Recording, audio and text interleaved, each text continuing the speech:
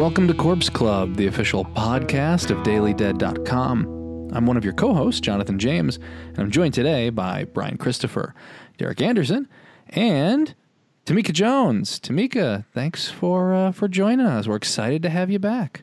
I'm excited to be back.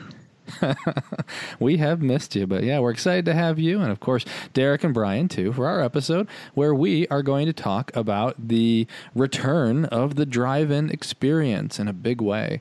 Um, it's kind of hard to believe we did a drive-in episode last year, and it was us picking our drive-in you know, movie marathons for like, what if we were at the drive-in? And of course, I go to some, you know, drive-in marathons from time to time. And, you know, if you've listened to Corpse Club, you know how much I love going to the drive-in. But it was more of like, drive-ins are closing around the world. Like, if you get a chance, go to the drive-in. And now, obviously, you know, COVID-19. And, um, you know, there's a lot of terrible things going on in the world.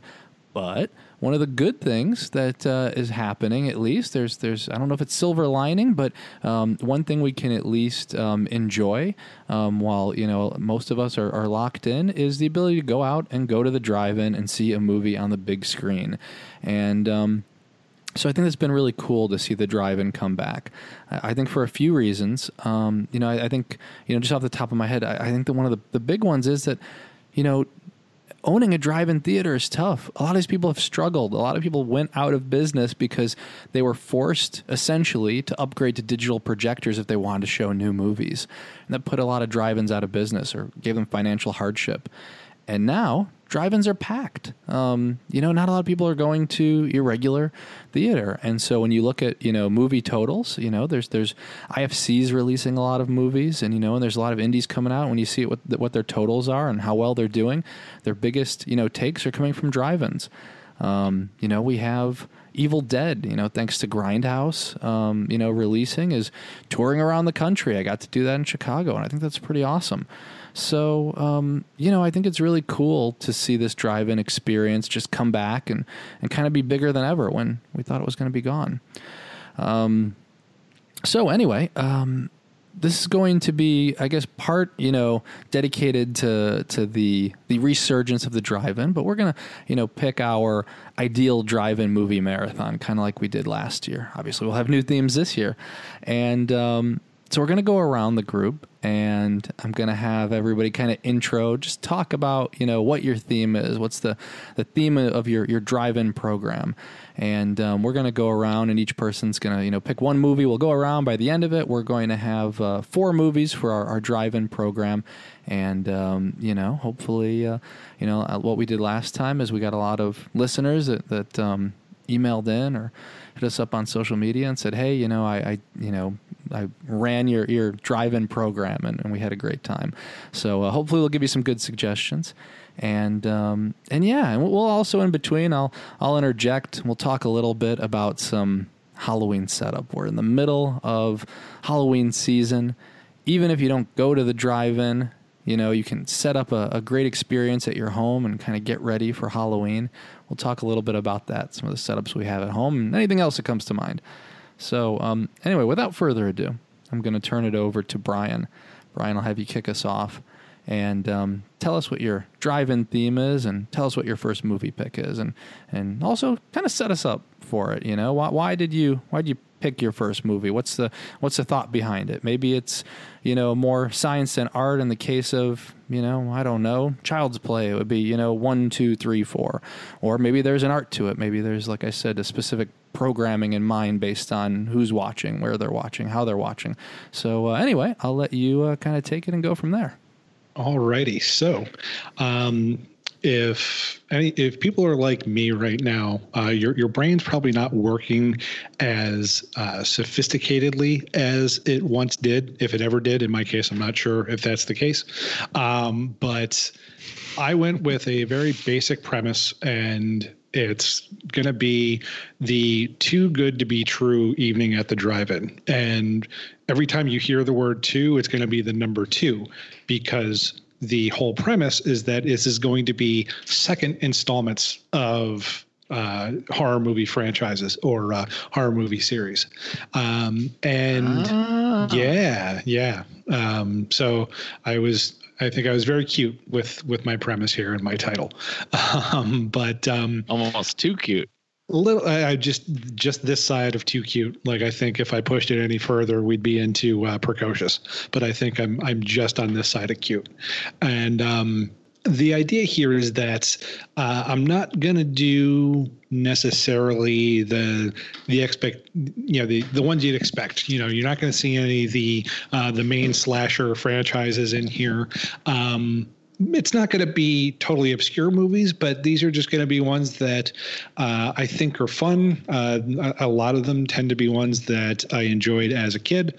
Um, and that's actually going to be the case for my number one pick, uh, which is oh, and the other thing is that I also wanted to pick movies that if this is the first time you're seeing a movie from this series, uh, it's not necessarily going to reduce your enjoyment of it if you haven't seen the first one. Um, and so my first movie is going to be a um, uh, kind of a kid friendly pick since this is going to be a little early in the evening and we're going to want to go with something that you know maybe if uh, the, the younger kids are in the car that they can enjoy it too and it's going to be gremlins 2 the new batch um, so, you know, anybody who is uh, familiar, uh, uh, Joe Dante, this is his a little bit more family friendly uh, comedic follow up to the franchise. Uh, it is a really fun movie. I, I really enjoy it. Um, it's one that for me was kind of making the rounds on HBO um, when I was a kid. So it's one that popped up quite a bit. Uh, so I saw it probably way too many times as a kid. Um, but you know, the, you, got to love just how goofy they got with it. Like you know, Key and Peele, Key and Peele did a whole sketch just about how weird that writers' room must have been. Uh, you know, where it's basically just just throw any idea against the wall and it's probably going to stick.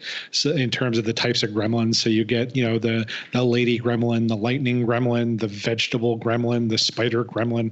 Uh, they really just kind of went bonkers, and uh, you know, I think it gave uh, Rick Baker a chance to do a lot of really fun stuff. And uh, you know, all the the the old familiar characters are there. Uh, you got Zach Galligan, you got Phoebe Phoebe Cates, uh, of course, the great Dick Miller um, is is in there. Um, I also really love uh, John Glover uh, as Clamp, kind of the. if if if Trump wasn't an utter piece of crap, like if it was someone who managed to be likable but was still just like an over the top real estate guy, that would be Clamp. Um, you know, it's just it, everything about this movie is fun, and I just think that's a a good way to kick this off. And you know, I think uh, anything we can do to to have a little bit of fun right now is is a good way to go. That's a fun one. That's a fun one because when you think of Gremlin, Gremlins itself is a lot of fun, but Gremlins 2, the new batch, just cranked everything up to 11. And I feel like Joe Dante thought that he had nothing to lose, literally, by doing that movie and just let everything go bonkers in the best possible way. So I feel like the joy of Gremlins just gets amplified so much in that movie. And Rick Baker and his entire special effects team, like they, I know Heather has has uh, dove into this in uh, like Monster Squad, uh, her book, and in her interviews with with that team they were allowed so much time to work on those special effects and the mogwais and the gremlins. And i feel like it's so rare that they were given that much creative freedom for a sequel that really went so far away from the original but but you know still is so lovable too. So i i love that pick. That i think that's that's a really good one. I think a lot of people still have yet to discover how, how much fun that movie is too Oh yeah, I my face lit up with excitement when I heard you say Gremlins 2 the new batch. Well, that's a lie. the first time my face lit up, it was when you said that your picks were going to have the number 2 in them and it just made me think of like the 90s like too fast, too like furious, whatever. Yes. Uh, yes. well, for what it's worth, all but one of these movies will be from the 90s. Ah, okay. Okay. Oh, I thought you were going to say Fast and Furious franchise, but that works too. Derek, let's not ask for too much, too much goodness. we'll explode. No, but I don't I, get greedy. I know, don't get greedy. But I I don't know if this is blasphemous to say, but I think the new batch is my favorite sequel I think because like of any just, movie ever. I think so. Yeah, because there's just so much nostalgia behind it. I understand that, but it's so fun. And how can you not enjoy a Gremlin? There is, I'm pretty sure it's from the new batch, but um, there's a GIF that I see on Twitter all the time. Um, where they're like in the movie theater. There's a bunch of them like in the movie theater and they're like talking and like throwing popcorn and stuff around. Does anyone know what I'm talking about? I think that's about? the first one. Uh, that scene oh, with okay. the. Oh, okay. but what part two does have is uh, the the kind of total breaking of the fourth wall, and the gremlins actually like destroy the film while the movie is going, and they have to get told off by the Hulk to get the projector going again. I mean, come on, that's bizarre in the best way. I love it. I listen. I'm sorry. I feel like I made you all gasp. no, in a totally good way. No, I just it, that's that's awesome.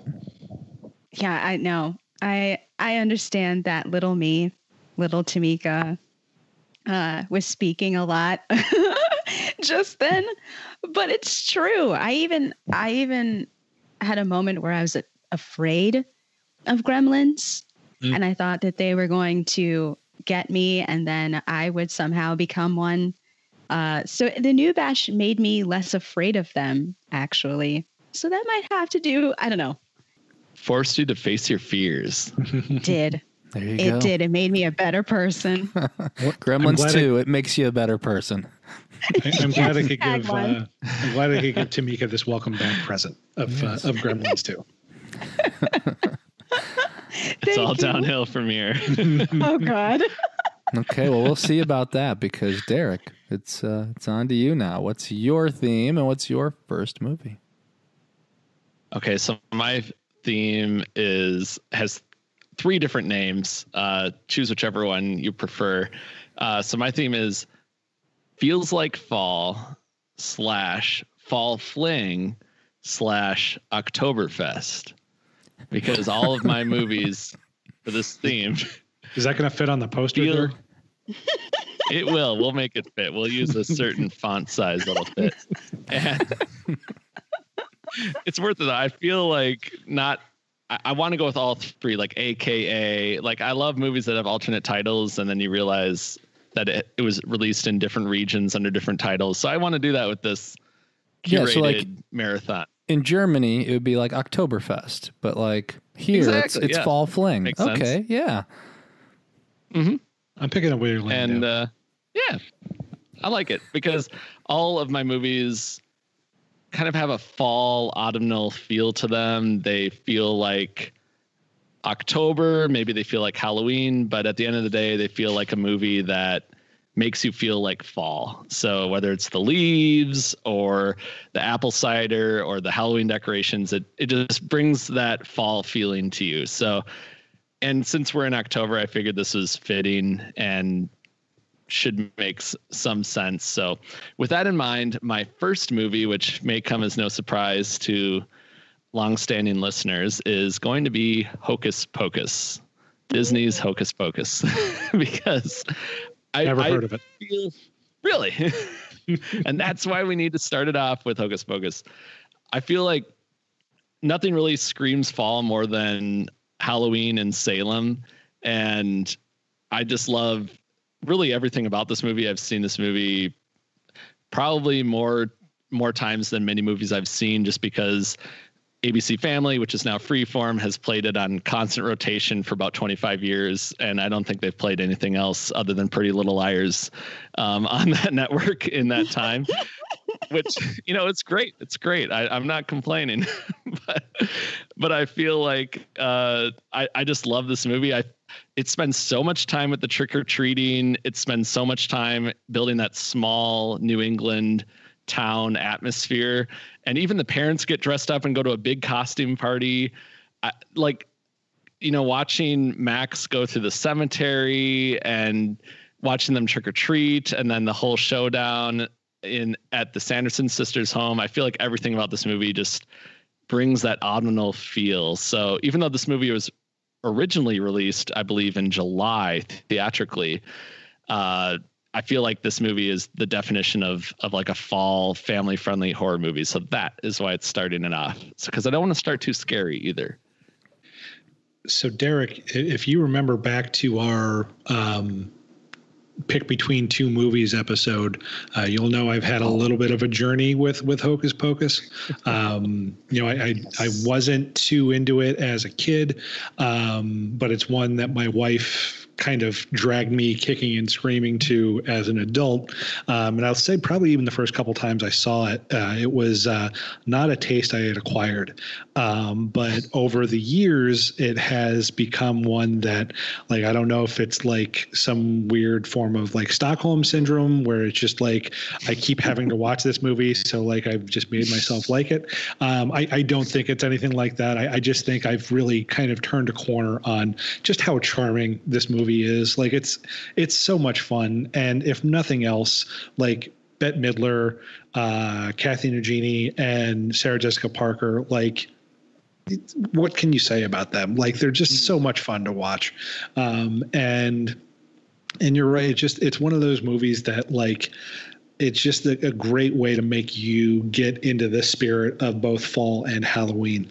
Um, so it is one that, uh, like we we broke Scott's heart during that either or episode because I took this one over Night of the Creeps. I know, it was so good. I think we that all was a did, tough didn't call, we? though. I, I think yeah, he was like all by himself. I think it was island. unanimous. Yeah, as soon as Scott, yeah, as soon as Derek said Hocus Pocus, that's what I went to. oh, poor Scott. But yes, um, great pick, Derek. I absolutely love this movie. Thank yeah. you. Thank you. And I feel like there's a lot of people that, as popular as it is, I feel like there's a lot of people that still need to discover the magic of this movie, whether you just didn't catch it or you don't watch cable TV or whatever it is. I feel like there's a lot of people that still need to find out how cool this movie is. And I, I feel like it may be overhyped now because it's been on for so long and people just talk about it endlessly. But you never know. Maybe it'll turn some heads. You know it's what? kind though? of Halloween's I mean, a Christmas story. This is true. Yes. Oh my gosh, you're right. Whoa. Mind blown. But yeah, this is a you know a movie. I mean, and I always say on on the podcast is that we assume that you know I, well, I, I, shouldn't say we because I don't assume, but I think the I, when I see on on Twitter that you know everybody kind of assumes that everybody has seen a lot of those you know milestone movies, but but the truth is that there are so many movies, and it's like you know, I mean, I remember for, you know, when, when I was growing up, it was like movie, I was still watching movies from the like 60s and 50s like they were current. And, you know, people who are, um, you know, in their teens today are watching movies from like the 90s and early 2000s. But I mean, you back further, it's like, you know, I mean, Universal Monsters in some ways is ancient to them. It doesn't mean that, you know, teens aren't watching those. And if you are, great, you know, because there's all these old horror movies to watch. Um, but we have to remember that there are a lot of people because there are so many horror movies these days that are coming out, and that you know uh, year after year after year, that people are having some some major gaps. So um, I can uh, imagine for sure that some people listening right now have not seen Hocus Pocus or some of the other movies that we're going to name. So even if some people have, um, I, I, do notice that you know from these lists we end up turning on quite a few people to uh, some movies either that have been on their list for a while or that they uh, maybe haven't considered. I don't know if you guys know this, but or maybe it's just a Maryland thing, but I've noticed that Hocus Pocus is playing in theaters. Now, I am also not encouraging anyone to go to theaters, but I, I noticed that it is playing and that it is doing somewhat well. Um, so there is also that. Yeah, I didn't know but that, really, but I do know that some. I mean, they are releasing some classics back to theaters. I mean, and, and even you know, thankfully, most of these are on, in drive-ins as well. So like you can see Halloween and um, and some of the sequels are, are playing um, in drive-ins as well. Yeah, for sure. But like, yeah, I I would check it on out on like Freeform because I'm telling you that is playing probably every night uh, in October. it is. It's the go-to. No. Yeah, odds are if you like if you turn on Freeform right now, no matter when you're listening to this, there's like a 75% chance Hocus Pocus will be on right now. That sounds about right. Doesn't matter if it's March, May, or October. Yeah. okay, well, That's the beauty Tamika, of it. I'm going to turn it over to you. Tamika, why don't you tell us about your theme and your first movie? Okay, so my theme, I want to apologize because the last time I uh, participated in the drive in marathon, I realized that I picked a lot of Debbie Downers. Uh, it's a lot of shark movies, a lot of death. It was So I'm- vacation all I ever wanted, right? That was your that was your theme. Yeah, for Yes. uh, for last year's uh And death is okay. This is a horror movie podcast, so that's True. that comes with But the all- territory. That is a good point. But I felt bad because all four of them were like that. So I thought I would look out for the listeners and I would pick horror musicals. So Ooh. that's my theme. And I thought that it would be a good idea to stay in the vein of um, Hocus Pocus and maybe pick like the second. Wait, wait, what did Bryan say? Hocus Pocus is the Christmas story for Halloween. Well, this would be the second movie for like in in like in uh that would be it would, this would be the second movie. And so my first pick, we're gonna start off light. The Nightmare Before Christmas. nice. I I understand. Classic. I understand. You know, listen, I it's been hyped to death. It also is probably playing every day on Freeform this month. But it's a really wonderful movie. And it's got great songs. You could sing along in your car, you know. Maybe you could like join the people in the car next to you and singing. Um, almost every song is really good, honestly. Even like the Oogie Boogie song. It's Well, now I'm just now I'm just picturing like sidling up to somebody at a red light, putting my window down, getting them to roll it down, and just going, "What's this? What's this? There's magic in the air," and seeing how quickly until they drive away and or call the police. You know you're in good company though if they can complete it. yes. that is true. secret handshake. Yes, Yes, it's how you make friends. Can make friends also at the drive-in, but stay distanced for right now. I, I feel like I was selling that, but I don't have to sell that. I don't have to sell the Nightmare Before Christmas. It's a No. classic. No, you're you're preaching to the choir here. Yeah. It's got to be one of the most recognizable animated movies ever made. I think even now, when we've seen technology advance in so many animated movies in recent years, I feel like this movie is still the standard and that everyone recognizes it, even if they haven't seen it. And the songs are so catchy. And the great thing about it is it's also it's a Halloween movie and a Christmas movie. So you can really watch it like three months out of the year and not feel any weird about it. I mean, it, it just makes sense. It's also interesting because it's like seen as kind of quintessentially the quintessential Tim Burton movie, even though technically it's not a Tim Burton movie. right. That's Henry Like, Selick obviously- movie. Obviously, he was you know heavily involved, um, but uh, Right, you know right. I, I think a lot of people you know operate under the mistaken assumption that he directed it too. Well, when you call it Tim Burton's The Nightmare Before Christmas, you're like, wait a minute. It'd be Henry Selick's The Nightmare Before Christmas. But as long as the joy is still there, I suppose. But you're right, though. I didn't even realize that until years later that Tim Burton didn't actually direct it because it feels like so Tim Burton-y. You know, it it feels like something that came out of the Beetlejuice universe. Yeah, if you got people, I, a- I mean, you'd get half the crowd for trivia on that with the wrong answer. But as long, I guess, if it if it helped it get to a wider distribution, then I suppose I mean, Disney was was, good thing. releasing it. anyway, no, I'm, yeah, you're. That's a good point. I'm not going to die on this hill, but you know, it is what it is.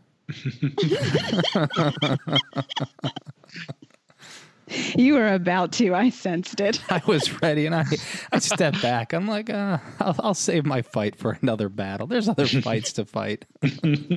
It's like if you called 2018's Halloween like John Carpenter's Halloween. I don't know about that either. yeah. Okay. We're about to have a could be whole other conversation. Yeah, we'll, Yeah, we'll, we'll that could be sidebar that. I'll text you. Not really, but um, okay. Well, um, so yes, that started musicals, and um, we'll we'll move on to my my pick, which is um, my theme. First is going to be invasion. Um, that's my my pick or my theme, and um, you know I wanted to do something a little different because you know you'd expect me to go vampires, which I did last year, or zombies, which I didn't do this year. Um, and you know I've been watching. I've noticed, and we've talked about this on our quarantine catch up episodes, that I've been watching less heavy um, horror movies, or at least n- new heavy horror movies, because some of these you may consider heavy, but um, I've definitely been watching more of the classics. I've definitely been, you know, watching, you know, whether it's comedies or, um, you know, cartoons. So I've, I've been kind of hopping all over the place. I haven't stuck just with horror. And so, yeah, so I want to do a little more sci-fi in some case. You may say it's sci-fi horror.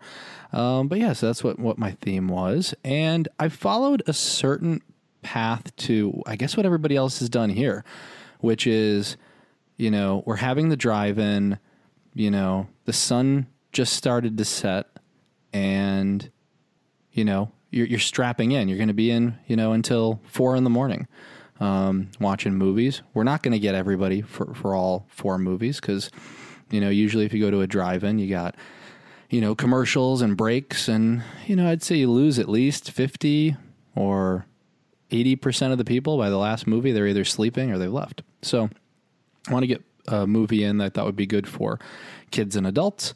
And so um, for this invasion theme, our alien invasion, um, I'm going to start with Critters. I think Critters is a is a fun movie that I don't think enough people have seen it. You know, again, we talk about you know those movies are like, well, of course people have seen Critters. Well, yeah, a lot of people have, but you know, I think um, you know people may have uh, gaps where they haven't checked it out. Maybe you love Gremlins, you haven't seen Critters. Maybe you um, you know are are just starting to get into horror movies and sci-fi, and you haven't uh, you know made it back to Critters. But I think Critters is actually, I mean, it's it's more of a, a cult film, um, and um, certainly I would say, which is maybe it's weird. I don't know. Maybe maybe there are other people out there that they do the same thing. I watch Critters more than I watch Gremlins. People would be like blasphemy, but I don't know for some reason. Um, I, I know I've I've seen the Critters movies more often than I've seen you know the first two Gremlins. I haven't seen the Gremlins two in ages, but um, there's something about those those little krites um, that uh, I have a lot of fun with, and um, you know I think it's that you know I mean the Gremlins are kind of that way too, but it's just uh, those krites are, are relentless, and you know they're attacking this. Um, you know they're attacking this you know family in the first one where they're kind of in this you know remote house and um, you know it starts out with you know them them running around a little bit and then they they roll and you know they got those spines they can shoot you with. You get bigger gremlins or or oh, excuse me I see there I said gremlins. You get bigger critters.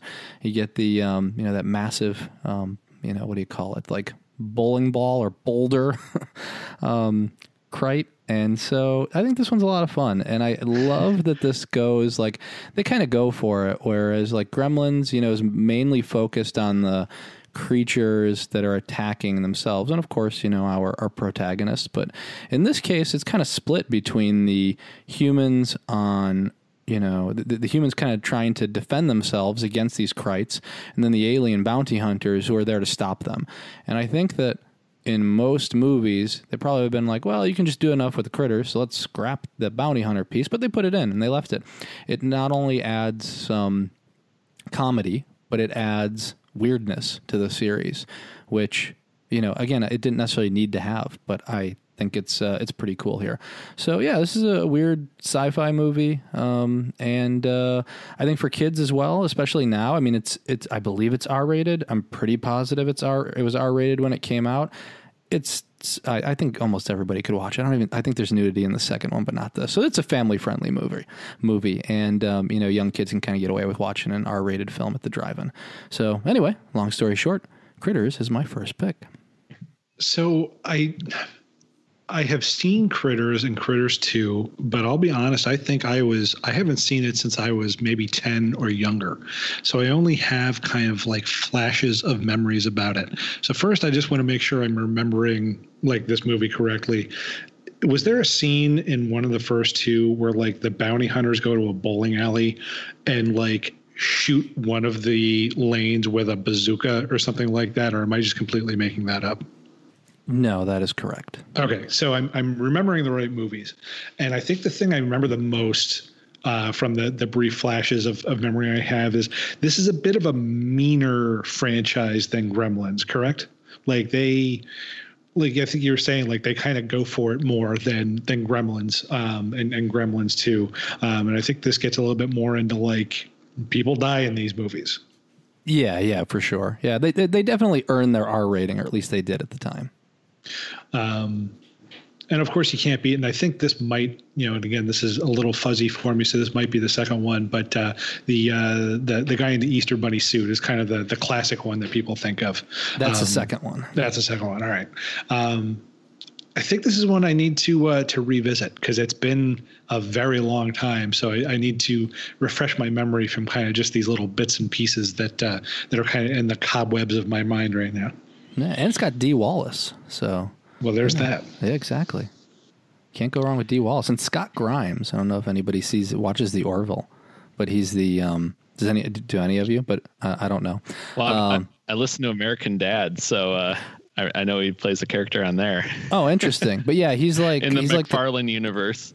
Yeah, he's like the pilot in the Orville, and I was like, oh, that guy oh, looks nice. familiar, and I'm like, oh, it's, it's Scott Grimes, who's the, you know, the only thing I, I knew him from was the, the kid in uh, in Critters, but it's all grown up now. Oh, wow, he is still very much a ginger. I just looked him up. Yeah. and it is PG thirteen. Interesting. You know, I and I and I, oh, to wow, me it's that time too. Yeah, so it's it's definitely one that pushes it then, because uh, yeah, I thought oh, it was. Yeah, Oh, sorry. Yeah. I didn't mean to interrupt you. No, no, go I'll ahead. So yeah, so I think this is one where uh, yeah, you can kind of get away with a little more R-rated content in a in a uh, what do you call PG-13 movie? That second one can't be though. There's nudity unless it's one of those where they're like, it doesn't matter if there's nudity and death. We'll still give it a PG-13. Sometimes that happens. it was the 80s, and I feel like there was a lot of what we would consider boundary pushing now, but back then they wouldn't have even batted an eye at that. You know Plus, I think they were still kind of they were still kind of figuring out that PG thirteen lane, like what what constitutes PG thirteen. Like I think they've got it pretty well set now, but I think you kind of probably had a little bit more leeway back then.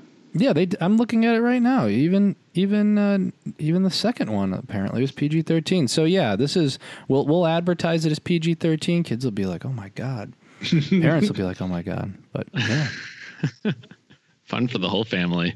yeah, and what a great, what a great. Uh, I mean, we already have a Gremlins movie and a Critters movie. If we just got a Ghoulies movie, we'd we'd complete the trifecta.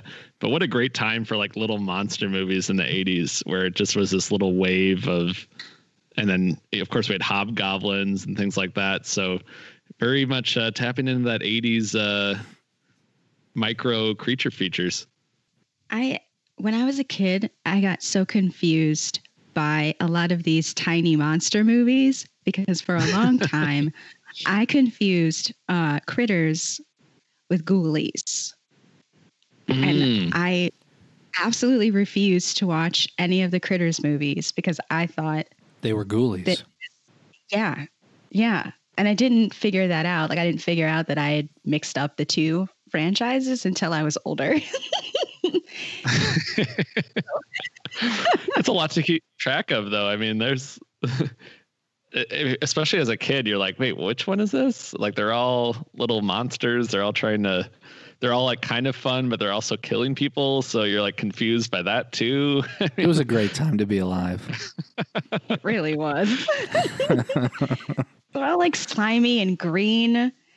And uh, yeah, I was just not I was not into it. The oh, uh, uh, I kind of I wanted to pick Ghoulies, but I, I didn't. But I the coming out of the toilet, there was always that too. They were always coming out of like a sink or the shower or the toilet or and something. the thing was, that scene is so short, and they but that was what they put on the poster. I mean, it was it was great and the VHS cover. It's a great cover, but like that little ghoulie comes out of the toilet for like five seconds. It's not a very long scene at all, but that's what they ended up. I mean, it doesn't even do anything. It just it's just part of a montage. Yeah. Yeah. It's so, it's bizarre, but fun. Like it's bizarre fun. Yeah. I mean, it's great marketing. It's like, you know, people really gravitated towards it. Yeah. I feel like The I'm going to say plumbing bizarre a lot, but I promise I don't mean it in a bad way. I really like bizarre. Yeah. okay, so um, that will end our first round of movies, and we'll circle back in a minute. But you know, kind of like we do at the drive-in, we'll do a quick intermission, and uh, we're not going away, but we are going to be talking about something else, and that is candy, because you can't have a drive-in without offering some kind of treat or candy or snack. So um, I'll, I'll throw it around the room very quickly. Um, does anyone here have any new snack revelations? Any go-to snacks when you're watching movies? Um, I'll kick us off quickly because I know I just threw the question out there randomly while you think about it for a minute. I just found out, and a lot of people know that I do love. I'm obsessed with sour candies. I love sour candies, and I've had. I know at some point I've had sour Mike and Ike's, and they were not as good as they are right now. But um, somebody had brought me sour Mike and Ike's. I'm like, oh, and I tried them, and they're like one of my new favorite sour candies. Like they're really good. Like if you eat the whole box, it will burn your mouth out. and They, they're improved the formula. Oh, they improved the formula. I think before it was like tangy, but now like it's a good sour. It's it's towards the top of my list. My favorite, as listeners should know at this point, is I love sour punch straws, but not the not the um not the long straws. I like the little bites. They put them in they put them in these um what do you call it? These like metallic sealed like almost like vacuum sealed bags and it keeps them moist and it keep and they're and they're what do you call it? And they're like in smaller bites and they're different colors, different flavors. And those are my favorite, hands down. It's like the right consistency of chewy and sweet and sour. If you give me a bag, I will eat it in in one sitting. But that being said, Sour Mike and Ike's are a close second now. I really do like them. So, um, yeah. Nice. I did, maybe you didn't need to know that. I promise you that Mike and Ike didn't pay me to say that. Mike or Ike, that neither one of them paid me, and um, but uh, I just felt like I was compelled to share that with both our listeners and and my co-host. So, um, so anyways, that's going to be one of my go-to candies this weekend. I'm going to watch some movies, and uh, I will be eating my Mike and Ike's. Um, so let's see, Derek, what do you got for us? Hmm. Well, I think I grossed everyone out the last drive-in episode by talking about my love of raisinets, and I Uh, still love raisinets. I love dark chocolate raisinets. I love the taste of them. Uh, but I will, and I, I, I should try out the sour Mike and Ike's because I love to just fry my taste buds with like really hot foods and sour foods. So that would be uh, fun, I think, to try that out because I haven't had that in probably over 10 years. Uh, but I would say probably my, I mean, my go to like throughout quarantine was pretty much the tried and true popcorn. We have like an old Mr. Popper 2 from the 80s that will just like pop the popcorn kernels and just throw a little salt and butter on there and and eat that up. So that's always been good. And uh, but my other candy, other than raisinets, that I've always loved is Junior Mints because it feels to me like you're also taking care of your teeth while you're eating candy. because But it tastes are like you? and I love like you don't have to brush your teeth. but I don't think you don't have to that's brush your teeth works. after having junior. it's dentist what approved. are you? Um, do you Like, like, the junior like mint? my My Oh. breath is minty fresh. I'm also enjoying this taste. Like this is a win-win for my teeth and for my taste buds. Actually, sounds like I'm surprised no one has come up with a junior mint flavored toothpaste. Well, now we'll have to either look into that or make it. But you mm-hmm. know what? When you said junior mint, I first went to peppermint patty. Which do you prefer? Oh, it sounds yes. like junior mints. Uh, I love. I really like peppermint patty, but for whatever reason, I'm just around junior mints a lot more. Like it's available. Like I've never like like when theaters were open, it, it was always available. And I just don't see peppermint patties being sold as much in Minnesota, whether it's like in the checkout lane or at a movie theater for whatever reason. Junior mints are just more readily available. So I guess I would just say junior mints for that reason. Have you had peppermint patty bites? They're almost like junior mints. They're like the same size. Don't think I've. No, I've. The only time I've had peppermint patties is when it's that like full patty where you unwrap the tin foil Yeah, yeah. you. Yeah, so that's the only version I've had. But it's I the bites sound really good. I'm pretty sure they're Also- they're bites. I might be making this up, but I'm like ninety percent. I wouldn't bet my gotta be careful. on it. Got to be careful of the junior mints though, because I have in a friend's car, um, like accidentally sat on one and then it just left a horrible stain on the car seat. So it's just not good. Just, just So make you, sure you, you might not want to take it to the drive-in. yeah, that is. I didn't think about that, but like candy, It's really candy bad. accidents is a, it's, it's real. It is real and it is not fun. I don't. I don't But know. other than I- that, good experience. Yeah, I'm sure I have a good story of messing something up in the drive-in, but not. I can't think of anything. I had. Um, my mom's my mom's gonna kill me. She, why, why you share this? Why you share this story? But we were in the theater. I think it was her that like almost like that tipped a drink on me as she was walking past me. So like I remember that. And I think somebody dropped a bucket of popcorn on me while they were walking past me as well. but I don't think I've ever I don't think I've ever messed up either somebody or their car. I can't think of it. Okay then. Um, while I while I think about it, if I, if I have a good story, I'll, I'll come back to it. Um, Tamika, I'm going to move on to you. Do you have a you have a go to candy or snack?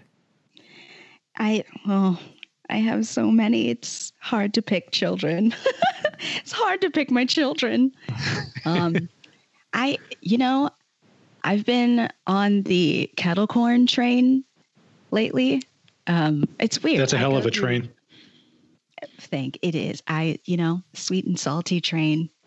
Uh, uh, oh yeah. I it's it's like totally it's super weird. I normally would always uh, go chocolate, Kit Kats or like M and M's, something like you know easy, kind of not too messy. But I mean it's chocolate, so you can't get around that. But lately, I've been really into kettle corn, so that would be my go-to. It's like I- think I like it for the same reason that Jonathan and Derek like sour things. It's just kind of like this. I- don't know. It's this like overwhelming taste on your taste buds. Like, well, okay, we got a lot going on here. you know, it's not just like salty, buttery popcorn, which I'm not really a fan of. So I think I've committed two blasphemies. the don't like uh, butter popcorn and uh, what was the other one? Oh, that the new batch is my favorite sequel. No, I mean not liking Yeah. buttery popcorn, especially depending on where you go. Like, I'm I'm not I'm gonna get off my soapbox here in a minute. Um, the theater experience, you know, in a lot of theaters, not every theater, right? Local theaters, um, you know, uh, Draft House. You know, there's there's some people that, that they they have quality food, right? But if you go to a lot of other theaters, you know, I'm just going to call them out. If you go to Regal, because I have Regal Regals around me, I mean, the popcorn's stale, the butter is no good, and they're charging you know six or ten dollars for a bucket. And it's terrible. And if you, you know, make it in your, if you make popcorn, it's much cheaper to, you know, if you make it at home and air pop it, it tastes delicious. You can put as much, you know, real butter as you want, or you can do, um, you know, there's a, like, I think like, uh, what is it? I think it's like coconut um, it's like coconut oil butter, something like that. So if you want a more healthy Ooh. choice, you can do that. And um, and yeah, so I mean, uh, you probably have just had a lot of terrible popcorn and terrible butter. So I don't I don't blame you because um, yeah, it's kind of nasty. Okay, fair. That is very true. And then I started again, don't do this, listeners, but I, in my day, uh, have smuggled in many a snack from the outside and whole meals. I've also done that. I think because I really didn't like the taste of the movie theater's popcorn. So that's true. Yeah. And I'll hmm. say, no, go ahead and do that, listeners. That's fine. Yeah. they overcharge for all of that stuff. So yeah, if you can if you can get stuff in, I say do it. Yeah, I mean, like I said, Yeah. to me, it just depends on the place. I mean, you want to, I mean, you know, it's uh, and it, for like again for like mom pop theaters, for like drive-in theaters, like they rely on that. Um, even for ones like when I went to the drive-in when they allowed um, just recently uh, in Chicago when they allowed me to like they allow you to bring your own food. I still bought stuff to support them, and I think that kind of stuff's important. But in other cases, like when you go and and you know they're serving you like the cheapest possible food at the highest possible prices, when they don't have healthy options, it's like, well, what am I supposed to do? And then you know, um, if you have dietary restrictions, um, you know, which um, you know, my, my mom, my, my wife, they, they frequently do, so they'll want to bring in snacks so they can have it, so they can continue to have you know healthy snack um, when they're supposed to, and um, you know, they they can't purchase anything at the theater. They literally don't have an option. So it's like we want to give you more of our money when you don't have things that we're able to uh, to consume. So um, yeah, that all that all makes sense. Um, but let me uh, let me move it on to Bryan. And Bryan, why don't you, uh, you, you what, what do you got? What's your snack? What's your go to? So, so snacks and candy at a movie are it's a precarious preposition for me because usually I will have hoovered it by the time the the trailers are done. Um, so I need to try and find something that I can like that there's a lot of little pieces too. So like my go-tos if I'm uh, buying something from the theater is going to be like if I want something fruity, I'll usually go Skittles. If I want something a little bit more like savory sweet, I'll go like Reese's Pieces. Um, in terms of something that I found recently that's like a really good munchable snack, if we're talking, especially if we're talking about something you bring in. Um, so I don't know how many people are familiar with the different trail mixes that uh, Target makes, like their store brand Archer Farms. Uh, so they make stuff Oh, like. Monster. It's so good. It's so bad for you. Like it's candy. It's just candy. It's not trail mix. But, um, this year I found a version. It's like a like a coffee espresso mix that has like uh, chocolate covered espresso beans and like these little toffee crunches and pecans and stuff. It's so good. And as someone who loves the regular monster, I actually like this even more. Um, so like if you're doing you know if you're doing something where you're trying to find something that you want to bring in with you, um, and uh, you know this is going to be kind of a um, a focused group of people because you need to kind of like coffee in your candy. Um, this is definitely a way to go. I would definitely recommend it. Uh, See, I like coffee in anything, so I, I will definitely try that out because anything that'll help keep me awake is is a good thing. So Definitely. caffeine will generally do that. And you did mention Bryan about how you'll finish your snacks before, like during the trailers, and I am notorious at that. Like it's, and I'm gonna take us on. I'm gonna take us on a, a journey. Ooh, we have a story. get back.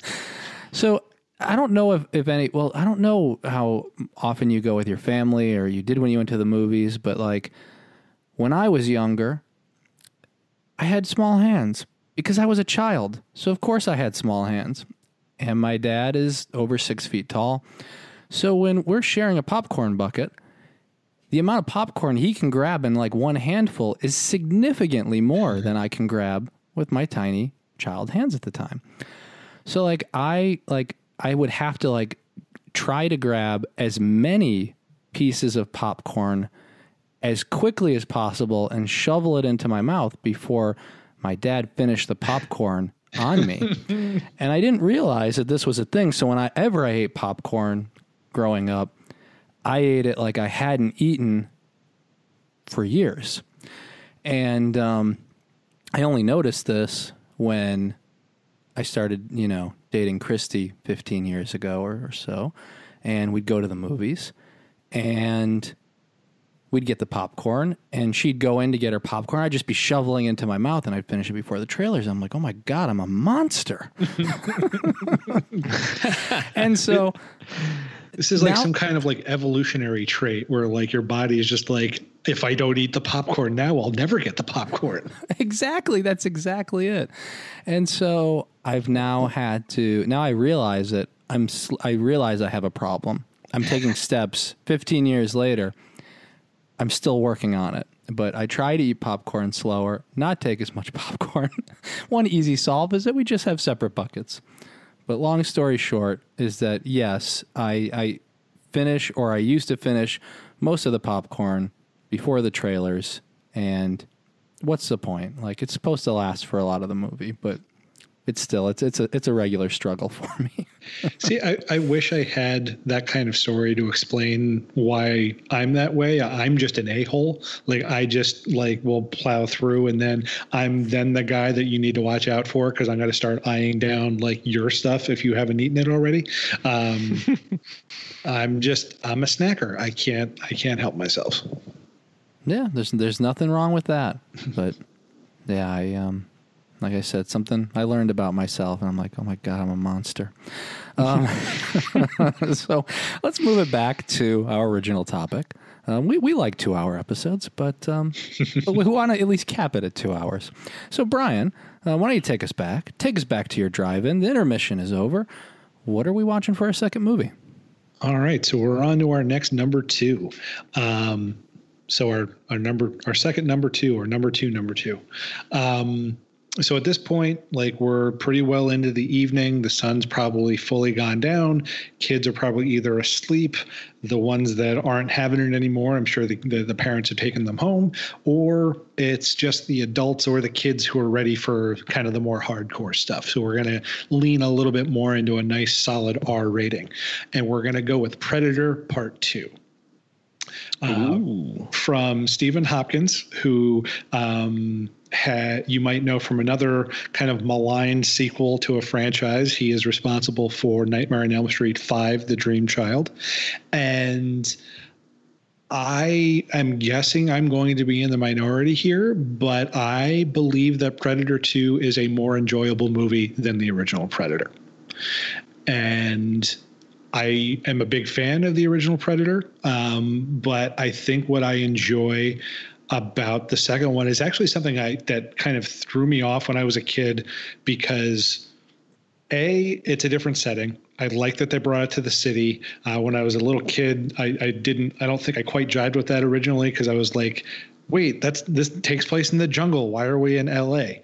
Um, and the other thing that I didn't know was coming uh, is that uh, instead of Arnold Schwarzenegger, we have Danny Glover, and I really love the dynamic of Danny Glover against a predator. You know, as opposed to like the absolute kind of you know alpha male just a big group of guys like you know like uh, uh, Arnold Schwarzenegger, Jesse Ventura, things like that. We have like poor Danny Glover and Ruben Blades and you know Bill Paxton.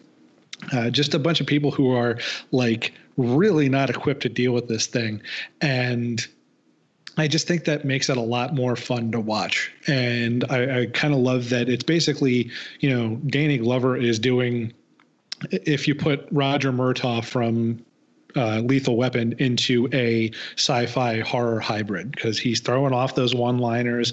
Uh, he's just got kind of this exasperated attitude the entire movie, um, and it's just a lot of fun to watch. Um, now, one big caveat I do need to put out there, uh, and and this is something that I probably didn't recognize consciously until um, uh, if anybody listens to Really Melanated with uh, Ashlee Blackwell and Carolyn Mauricette, um, Carolyn Mauricette brought up this movie as an example of uh, a really, really racist movie. When you think about the uh, the beginning of the movie, Danny Glover is kind of investigating this drug war, and it's between the uh, Jamaicans and the Colombians, and the absolute over the top stereotyping that they do with these two groups of people is actually really cringe inducing. So, um, you know, that, that kind of caveat aside, um, this movie is a lot of fun. Plus, I forgot to mention Gary Busey's in this movie.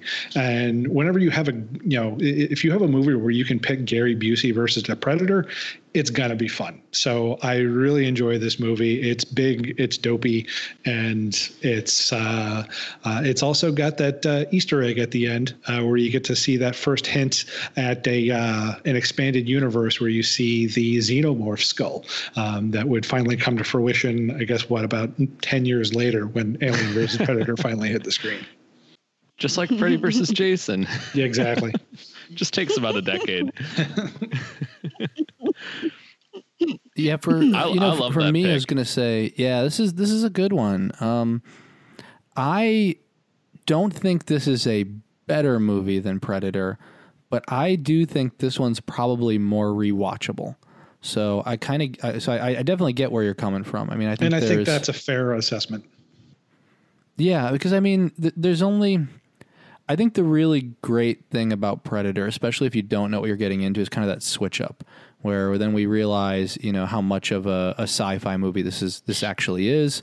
Um, after you have that kind of like straightforward, like action-packed intro, and then you go into the like, you know, man versus predator um, at the end. So, but I mean, I, I don't, I, as, and I love the movie, but you know, for me, it's not necessarily something I would run over and over again. Um, but there's a lot going on in, in Predator too, and I think it expands the world in really exciting ways. Um, you know, the like I said, I mean, totally the end as well, but also, you know, um, in terms of you know the, the Predator's weapons, um, I think they do some fun things with being able to give you know give the the Predator some new tricks, and um, and uh, Bill Paxton's in that one too. So I forgot about that for a minute. And Bill Paxton, I believe, the only person who has played characters to be killed by a predator, a Terminator, and a xenomorph. Yeah, I, I bel uh, Wow. well, yeah. Well, I'm thinking. Um, I believe Lance Henriksen has that too, though, doesn't he? Got a Terminator. Is he in one of the Predators? He's in Alien versus Predator, He is an Alien versus Predator, and and he, and I guess I guess Bishop does eventually get turned off in three. So yeah, I think that fits. yeah. Okay, We'll allow it. it's a stretch. So it's a it's a it's a small group still. Yeah, it's, it's a group of two. Worst case. I'll leave now. I love that pick though because I- I feel like Predator. I, I love the first Predator is one of my favorite horror movies, horror sci-fi movies, whatever you want to call it. Just because it was on so much growing up that I saw it so many times, and Predator Two was on probably just a fraction of the time that the original Predator was on TV. So I feel like it's one that gets forgotten a, a little bit and kind of like Gremlins 2, the new batch, where there's a lot to enjoy, but it's not really thought of as much when you think of that franchise. Uh, so I, I like that a lot. I think it sheds light on kind of the forgotten one of the forgotten sequels because of course aliens everyone kind of regards that as like the alien movie now but predator 2 doesn't have that same like prestige as aliens so i feel like this kind of sh- uh, spotlights it a little bit more which is is much needed But no, Bryan, I, I agree with you. It's it feels weird to like a movie like Predators because of its issues, you know? And there are so many of them. Uh it's it's really cringy. And I, I, what I was going to say earlier was that it's it's so difficult sometimes because or a lot of times maybe, you know, depending on what you like.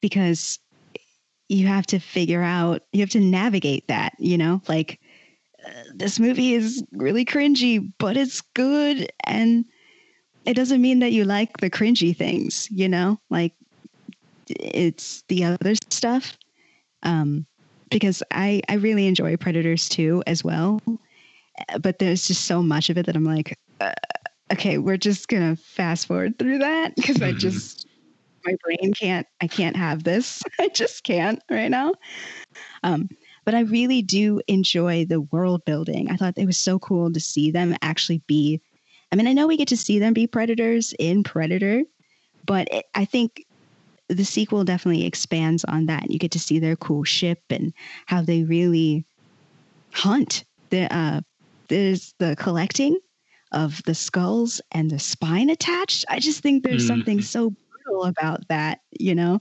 something so animalistic and and rudimentary. You know, about doing that, and it's almost like collecting trophies. It's just there's something really cool about that, and it seems absurd for them to go to the city, but even that made sense to me too.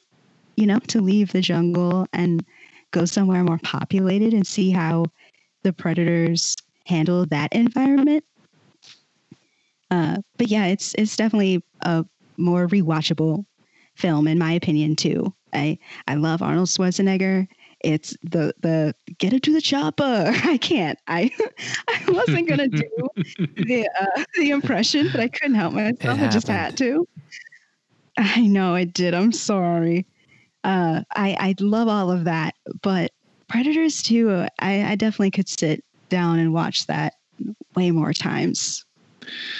And, sure. and one final note if you want to see something that will make you chuckle um, for anybody that's listening go onto youtube and just do a search for danny glover predators dance and it's just kind of a behind the scenes thing that they did that's kind of been making the rounds lately um, if you want to see danny glover dance with a bunch of people who are in full predator garb it's uh, it's fun to watch so i definitely recommend it Ooh, it's it's good to know that the people in the predator costume like didn't do the method thing. yeah.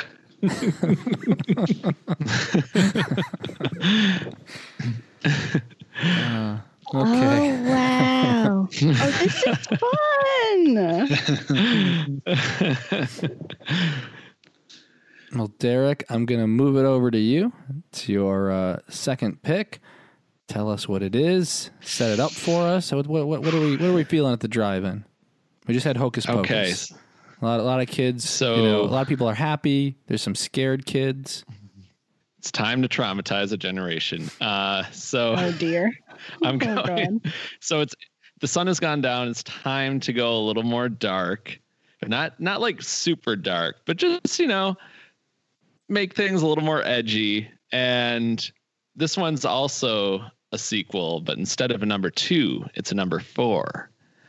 And the movie is Halloween 4 The Return of Michael Myers, mm-hmm. which hmm. I know it might be a little confusing to just throw that out there in the middle of a movie marathon without without Halloween's 1, 2 or 3. I guess you wouldn't necessarily need 3 in this case, but I feel like it's a movie that you can just jump into regardless, just because it kind of restarts the franchise on on a different, a little bit later, and it's you know, it's not like Halloween one or two where you necessarily need to follow up one with the other. So I think we're okay with that. But the reason I chose it is because I feel like this movie, maybe out of all the Halloween movies, I know this is kind of maybe a little controversial, but I feel like it it embodies the autumn season perhaps the best. Like I feel like the opening credits and I've seen this on this discussion on Twitter. I feel like I'm not the only one where this movie just immediately brings to mind like a midwestern fall flavor and I feel like the settings of it like it really leans into the trick or treating the most out of any Halloween movie. And you've got the the uh I don't know, it just feels like there's a lot more of a Halloween night vibe to it, and it, it it just kind of embodies that with the visuals and with Jamie in the clown costume, and it kind of harkens back to the original Halloween in a lot of ways, while still still doing its own thing. And I'm kind of biased too because I saw Halloween's four and five way more than the original Halloween growing up, just because AMC on the Fear Fest always played those two back to back over and over and over again, and I just I really loved them. I I I still love them, and I know it's maybe not the, it, maybe not the most high quality Halloween movie, but it's one of my favorites, and I feel like it just kind of brings to mind a fall Michael Myers flavor. So for that reason, it's my number two in my movie marathon. Let's see. So part four has Danielle Harris, right? In it, she's a little, a Correct. little girl. Yep. Okay. Because for some reason, I always, I, I feel like uh the theme, my second theme is confusion. because I, I sometimes get four and five confused.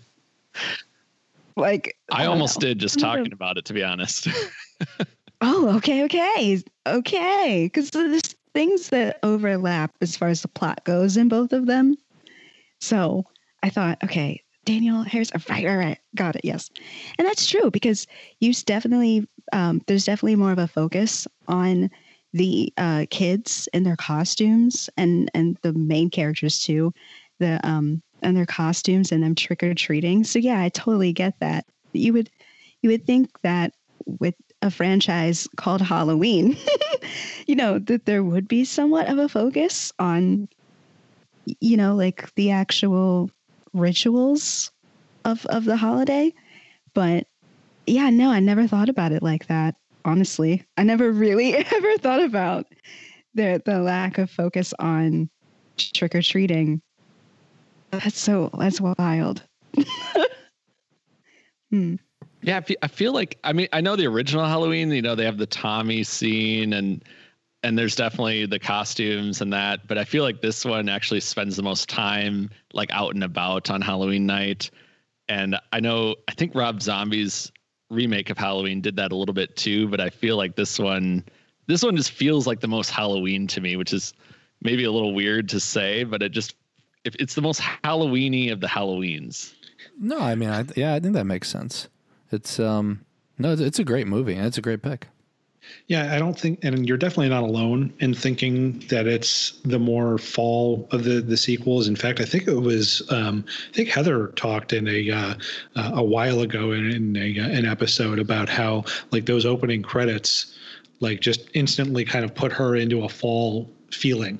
Um, you know, and the the original Halloween, for as classic as it is, it's you know, midwestern Halloween by way of California. You know, there's palm trees in the background. So, um, you know, I can definitely see you if you if you want that autumn feeling going more for for four or five where they really kind of capture what actually autumn feels like so yeah i, definitely don't think you're alone at all in, in, in thinking that this has more of a, uh, a halloweeny feel Yeah. Um. So Get let's uh, bumped. yeah. so let's move. Uh, let's move on It's to you, Tamika. verb It's uh, it's your or your adjective, I should say. So Tamika, we're on to uh, to movie number two with you. It's uh, what is what's your second musical? I'm curious. Okay, get excited for musical number two. It is now probably nine ish. If this drive in started at seven, actually a little after. No, no, it's like eight forty-five because the Nightmare Before Christmas is kind of short. Um, but yeah, it's dark, and maybe the kids are kind of you know tired. It's near their bedtime, so we're gonna we're gonna raise up the uh, the uh, advisory, the age advisory a little bit with Repo, the genetic opera. Ooh, I Ooh, we're going right in rated R territory. I, I promise that uh, the progression will make sense. I promise, because my next two picks, I think, will fit with Repo nicely. I hope. I I did try to think this through, but um, we we get. I I always I'm always nervous that I'm going to mess up his name, but Daryl Lynn Boosman, Boosman. I always It's, feel uh, like Darren I'm Lynn Bausman. Bousman. See, I always try to make it like French, like Bousman. I mean, we- he may can we somebody may prefer it that way. can we say boostmon from now on because that's more fun Yeah, I mean, it, it, it, they, you know, some people may like it that way. You know, I'm sorry, Darren. I I always I don't know. I always want to try to like throw some flair onto it. Not that Bousman is not full of flair. Um, but I okay, so if you've never seen this uh musical before, I feel like in a way it's kind of well, I don't know. I wanted to say that I thought it was somewhat timely, but I, I wanted to take that back. But now that I think about things, I don't know. We might we might get there actually. um, but this it's set in the future, uh, about like I guess like 30 years or so, maybe 40 um, at this point in time in 2020 into the future, and because um, a lot of people are in need of organs. There's like a company who, uh, like, I guess they facilitate organ transplants. And because they're expensive, uh, people, they put people on a payment plan. And if you obviously uh, fall, default on the payments, then well, the repo man comes uh, to collect you know, so it's like when you fall behind on like a payment for your car and then the repo man follows you around and then they like find it parked somewhere and they take it. So it's kind of like it's like that but with organs. Uh listen, I know, I know what you you might be thinking, but it's fun. And again, like I said, bizarre. and I just think bizarre is fun. So, you know, can have a little adult fun. Kids are, you know, maybe they're sleeping, you know, you got your alcoholic beverage perhaps. You get a little um oh the cast. Oh, okay. Now this is very 2006.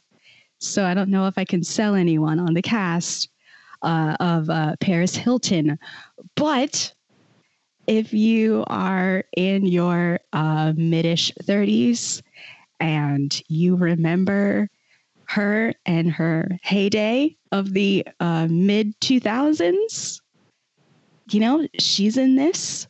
I forget if this was her first movie or if it was House of Wax. Uh, I, think she'd done House of Wax before that. And I, I really liked her in that movie too. Yeah, yeah, there's some really great gore in that movie. But you get Bill Moseley as well, a legend. Um, I believe Paul Sorvino, which is just shocking. I I I actually respect him more, if that's even possible. When you know he's in this, I love that when just actors just decide, you know what, let's do it. Uh, I got nothing to lose. I'm gonna be in something super fun. But yeah, I how do you guys feel? Have, have any of you seen this this movie at all? Or is this like totally bizarre that I went from the Nightmare Before no, Christmas? No, I, I I actually had a uh, a friend my, my friend and I had this movie poster like printed out and in our uh, locker in high school and I remember it, it would be a couple of years before I finally saw it, but it was like, man, this is, seems so out there. And like Paris Hilton is in this. And of course, she was everywhere during that time period. So it's kind of like, whoa, what's she doing in this really bizarre movie? Like, I need to see what's going on here. And so I remember this movie really well. It's been a it's been a while since I've seen it, but I remember really digging it, and it kind of had like this twisted rocky horror picture show vibe to it like it just was very its own thing and i i think uh, i think it would be perfect for the drive-in yeah, I'll be honest. I haven't seen this one, not necessarily because like I'm not interested. It's just one of those ones that just never really happened. Um, but I am intrigued by the idea of um, a, a, musical with Anthony Stewart Head in the lead. Um, you know, anything with uh, Giles from Buffy the Vampire Slayer uh, is is something that's bound to be interesting. Um, another interesting thing that, like, I do remember when this came out. It, it, I think it kind of suffered a little bit from that thing that happens in Hollywood from time to time where two movies that are basically about the same thing, even if they wind up being very different movies, come out at the same time. And right around the time this was coming out, there was a similarly plotted movie called Repo Men. I think it was like Jude Law, um, and I forget who is. It might have been Forest Whitaker. I forget who the other person oh, was. Yep, Forest Whitaker. Um, yep. And it was the same basic premise where it's kind of like this future uh, where people get, um, you know, organ replacements on you know financed. And if they can't pay it then people will come and take them back. Um, and i think they took a more like weird buddy cop movie uh, vibe to it for that. So it just like weird like as, as over the top and wacky as this premise sounds the fact that like two movies at the same time came out about that just kind of blows my mind when i think about it oh that's right yeah, interestingly, oh, I, I didn't see Repo Men, but I did see Repo, the genetic opera. Um, I haven't seen it since the first time I saw it, and I can't remember where I saw it. I don't remember if I saw it in theaters or we rented it or it was in the road show. I know we did the Devil's Carnival road show, but I can't remember if we did Repo. But um, I do remember there's a lot of catchy songs. Um, I do remember that we had a good time when we saw it. I think this definitely reminds me that like even it, I would have done it as well for Nightmare Before Christmas, but for Repo and everything else as well. I imagine at your drive-in, Tamika, that we're all singing along, that our windows are down, and that um, that, that the whole crowd is just singing along to uh, to this. this. This is definitely a catchy one. I, I that was my In perfect harmony. My, yeah. that was my goal. I I I'm trying. You know, I'm trying to be a good drive-in director. I think yeah. we've all been good drive-in directors, by the way. I think so. And um, and with that, I will move on to my second pick, which is going to be, you know, we have our invasion theme. We started with critters. Um, and uh, and we're, we're, moving right on. You know, I even though it was you know as a revelation to me, it was PG thirteen, um, but I still think you know Critters was was kind of harder um, for our audience. We didn't go necessarily for a a, a kid friendly marathon. We're just if kids want to sneak in or parents want to take their kids, you're welcome to. But um, so we're moving right along to Lifeforce, and Lifeforce is going to be my second pick. Um, it's a movie that you know I've talked about many times on the podcast. Um, thanks to Patrick, I had kind of overlooked this. I think I had seen it when I was younger, and I was like, eh.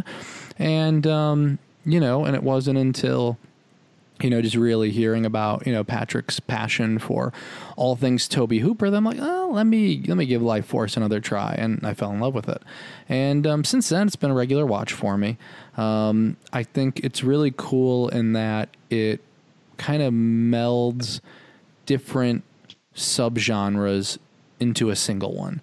You know, we have the beginning when they encounter the space vampire and um, that's reminiscent of Alien. Of course, Dan O'Bannon um, was a writer on this. And then you know we have the, um, you know, then we have the like incarceration or the, um, you know, uh, what do you call it? The like medical scenes. Um, we have the breakout, and then we have like a full like invasion or plague or whatever you want to call it. And um, without going into too many details intentionally, um, I think this movie has a lot of surprises.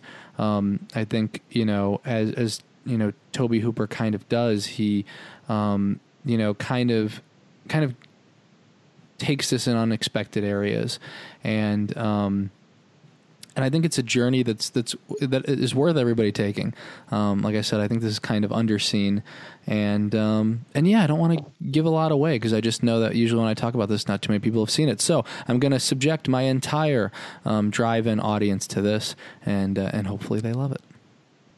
That seems like the perfect drive-in movie because a lot of people, I know we've definitely talked about a lot of Tobe Hooper movies on Corpse Club and Daily Dead and I know Patrick Bromley is a huge Tobe Hooper fan, probably the biggest Tobe Hooper fan on earth. And I feel like this is still one of the more underseen movies of his, but also of the 80s horror scene, too. Like when you're talking about space vampires, you just feel like that would have gotten a little more love. And I think people have come around on it, but there's still there's still a lot of people that need to tap into it and it, and I think it's got that iconic image of like the totally drained body and the the dry corpse that just it's like the imagery of it is so great for the big screen and for the drive-in screen that I think this will this would be a really cool pick for a drive-in movie marathon. I mean, I think they just really didn't know how to market this movie. I'm speculating, um, but I don't know if the name is really it, it really helps sell it. I don't think you know if you look at the poster, the promotional materials, the the trailer. I, I think this movie at the time was so weird that they just didn't necessarily know how do we sell it. I honestly think they mm-hmm. should have called it the Space Vampire. Right. Because it's it based would've on a made- book called The Space Yeah. Vampires. I think it made much more sense. And I know that that Right. kind of sounds like, you know, a 50s throwback, but there were a lot of 50s throwbacks. I mean, you have like Night of the Creeps and you have Invaders from Mars. And so, I mean, I, I don't think that this feels like too out there. Um, I definitely think that the marketing w- was kind of like at least the start of the problems here. I don't think there's anything wrong with the movie. I, I really don't. Spread the Um, word. And I, for one, will say I guess it was not appropriately marketed to me because I have not seen it yet. So uh, you have done a good job at uh, at nudging me towards it. However, uh, between you and Patrick, I, I think it's finally time for me to uh, to give this one a gander. Yeah, do it. Um, so yeah. So anyway, so that's uh, that's my second movie, and now we're taking a brief intermission because if we take an intermission as long as the last one, we'll be here for a long time. People will fall asleep. um, whether it's our listeners or us, we may not make the fourth movie, as like I said, as often happens. So we'll go quick with this one. This one we, we did candy last time. We're gonna do uh, we're gonna do drinks this time.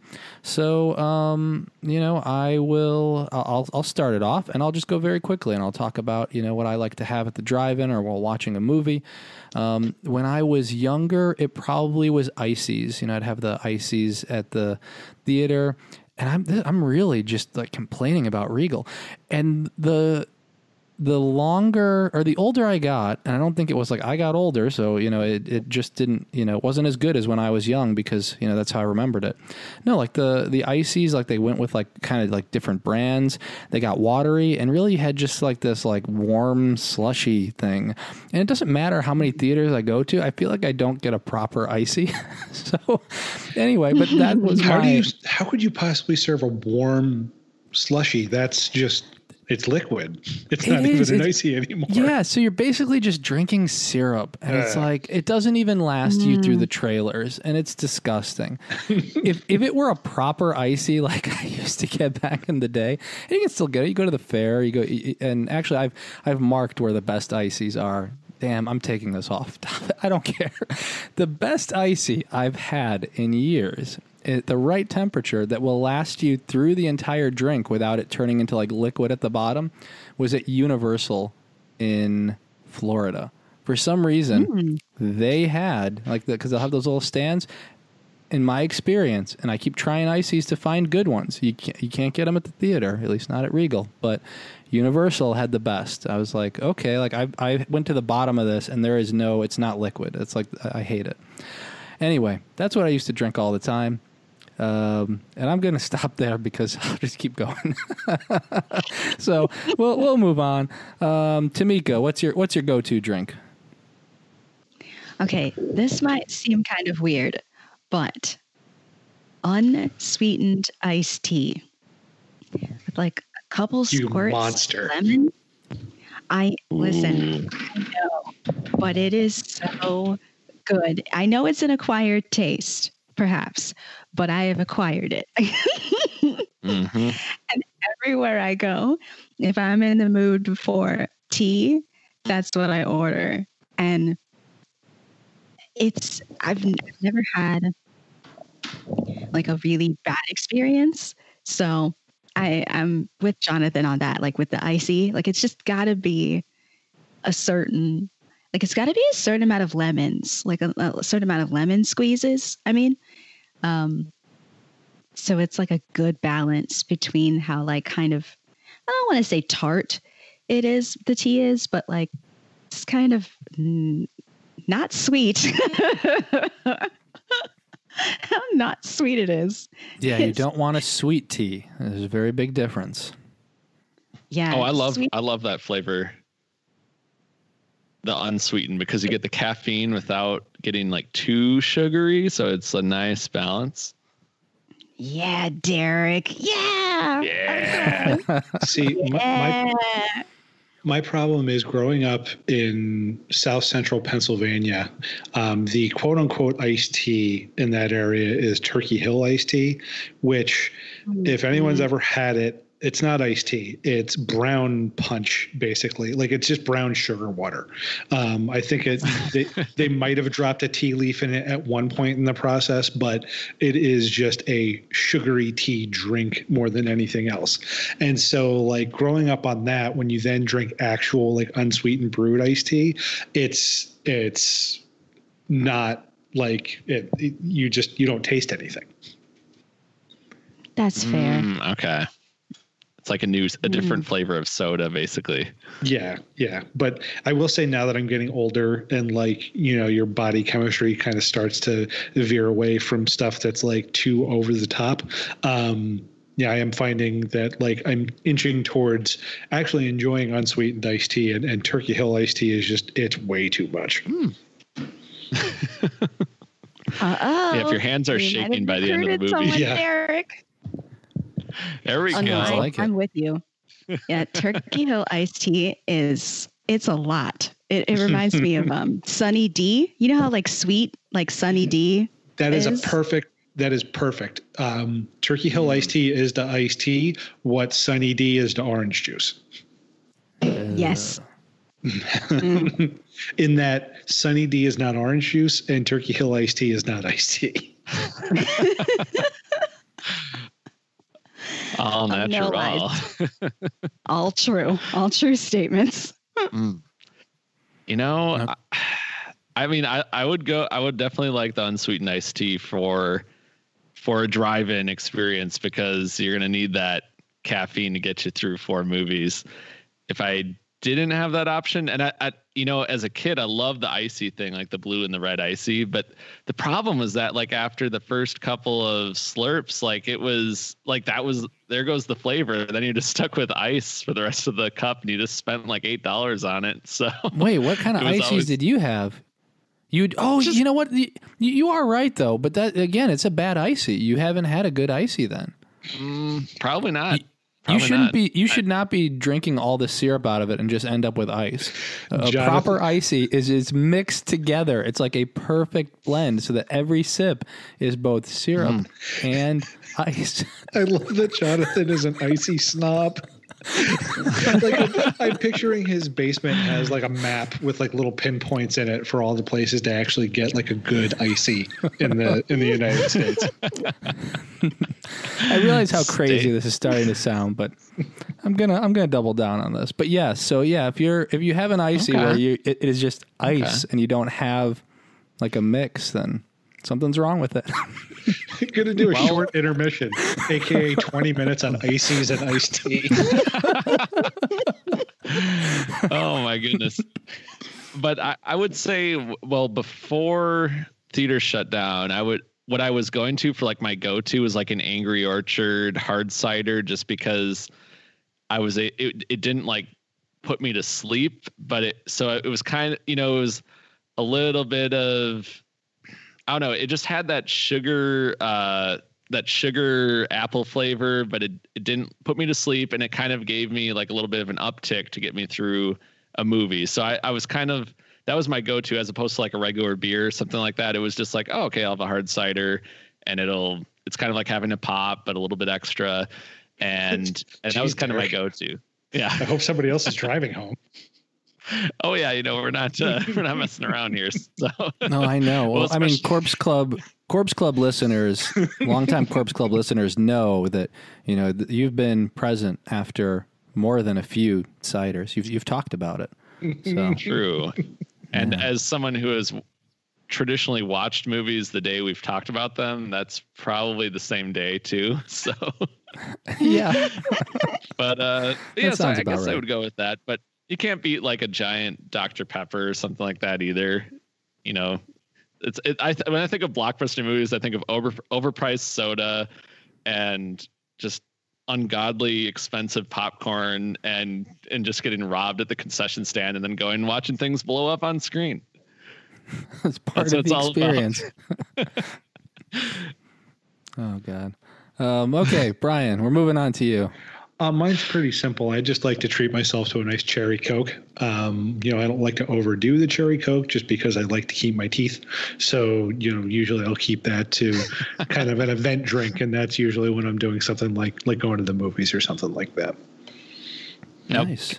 Can I ask you this? Have you tried the cherry Dr. Pepper or is that a little too much? Um, I have, and I like Dr. Pepper and I like cherry, so you'd think I'd like the combination. It's fine. It's not quite my speed. Um, Okay. yeah, usually I'll if I'm gonna go a cherry flavor, I'll usually go cherry coke. I, I like it, Okay. but not so, lime Coke. No, thank No, you. no, No. no, nobody likes that. I will not be putting the li- well. That lasted for what, like seven days, and then they realized it was a horrible idea. It was one magical summer. Let's not shortchange it. It was one magical summer, and that was all. That was all that we were worthy of, is what it was. That's the way I remember it. It was too I didn't good. have it, but I uh, can't imagine it tastes like fresh lime. Like I can understand, like if you get if you get a cocktail that has Coke, and when I was younger, I made the mistake of getting cocktails that had Coke in them. Sometimes I'd put like a lime wedge, and I imagine it, it didn't taste as good as that. But yeah, no, thank you. Um, okay, let's let's move on to uh, to movie three. Our intermission is over. Um, so we're we're on our third two um, with you, Bryan. Um, what, what's your pick, and what's the what's the what's the mood like? How's everybody doing after movie two? So I, I feel like people are ready to start getting a little dark. Um, and in fact, this is going to be the darkest movie of the night. Um, so it's going to be one. Let's let's buckle in a little bit, and we're going to go with Pet Sematary two. And Mm. all respect to Mary Lambert for taking a movie like Pet Sematary that features like child death, a guy losing his whole family, a guy by the end of it probably getting murdered by his reanimated corpse wife, and saying, How can I make this both meaner and funnier? And that's what Pet Sematary 2 is. Like, it is such a dark and just mean spirited movie. Um, you know, uh, Clancy Brown's uh, Sheriff Gus alone is just like every horrible thing this guy can do, he does even before he becomes kind of the the reanimated corpse version of himself. Um, but it's also just got like this really dark, demented sense of humor. Um, the, the the scene in, that, that always sticks out in my head is like when at the end like uh, everything's kind of hitting the fan and um a an interestingly cast Anthony Edwards is kind of you know he plays the dad and he's going at it with this reanimated corpse of of of Gus Clancy Brown's character. And like he gets a drill to the shoulder he gets the crap beat out of him and it's just like just this rough and tumble fight scene.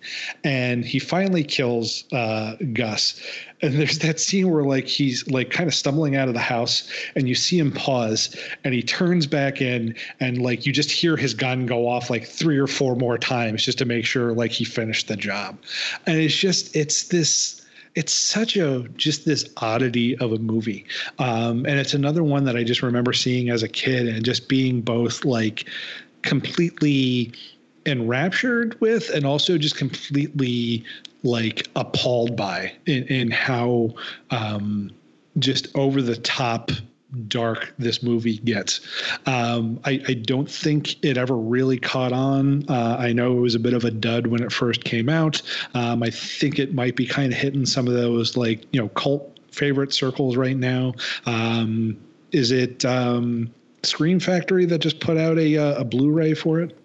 Yeah, they did. Yes. So yeah, I think it's you know I think it's going to start catching on, um, and it's just kind of that you know it's from '92 I believe, like '91 or '92, uh, and it's kind of just part of that weird early '90s era where they were just trying everything they possibly could, and it just produced a lot of really weird movies, and, and I think this is one of them.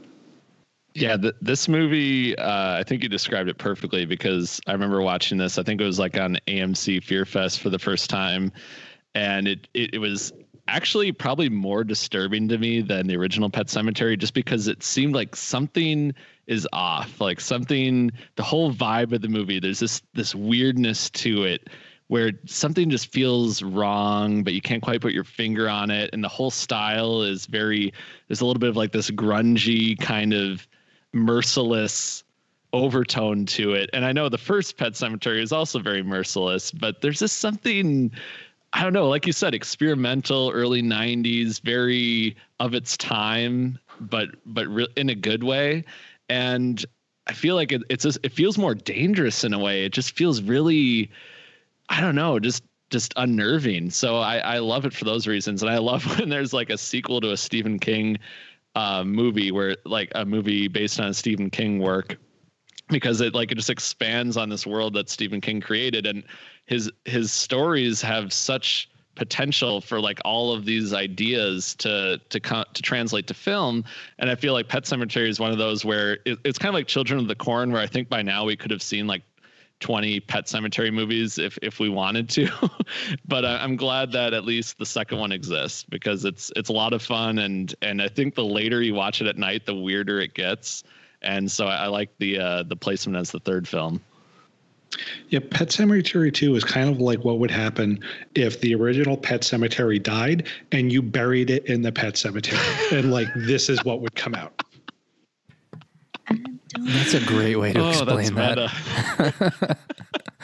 they need to put that on the uh, on the back of the. We'll just send back the Blu-ray and reprint the case. that is good. Yeah. Okay, so um, Derek, let me oh. mo- move on to you. And um, you're Oktoberfesting it. Let's mm-hmm. um, mm-hmm. again. It's it's movie three. Tell us how the how the how is the atmosphere at your drive-in marathon? How are the how are the kids? How are the adults doing? And what's your third movie? Well, the kids aren't all right because they just watched a very unsettling ending to Halloween four with the scissors and the bathtub and just in my opinion, one of the best horror movie cliffhangers, even though they didn't really follow up on it in Halloween 5. But I, I, really love that ending to Halloween 4. It kind of ends things on a downer note, but it's like, it's genuinely shocking if you've never seen it before. So I want to continue on that momentum. We're going to keep things creepy, but also a little more fun and festive. And we're going to really dig into the Halloween atmosphere for the third film, which is Michael Dougherty's Trick 'r Treat and this is my pumpkin spice. You might say it's the basic pumpkin spice like Halloween movie that you could think of because it's so obvious, but I I think that's why I have to include it in my fall flavor, fall fling, whatever I'm calling this movie marathon because it just oozes Halloween night. I mean, this is I think arguably the greatest Halloween movie we've seen released and it just gets better with age and I think it from the Halloween decorations, the anthology, which every single segment is, I think, just perfect and really digs into the Halloween spirit in a different way, which I really like from vintage Halloween to more modern Halloween and everything in between. Uh, I just love this movie. I think it's it's a, another kind of example of like a classic Midwestern Halloween feeling to it and the production design is phenomenal. I think they just knocked it out of the park when you're talking about that, I guess, classic suburban, small town Halloween uh, style.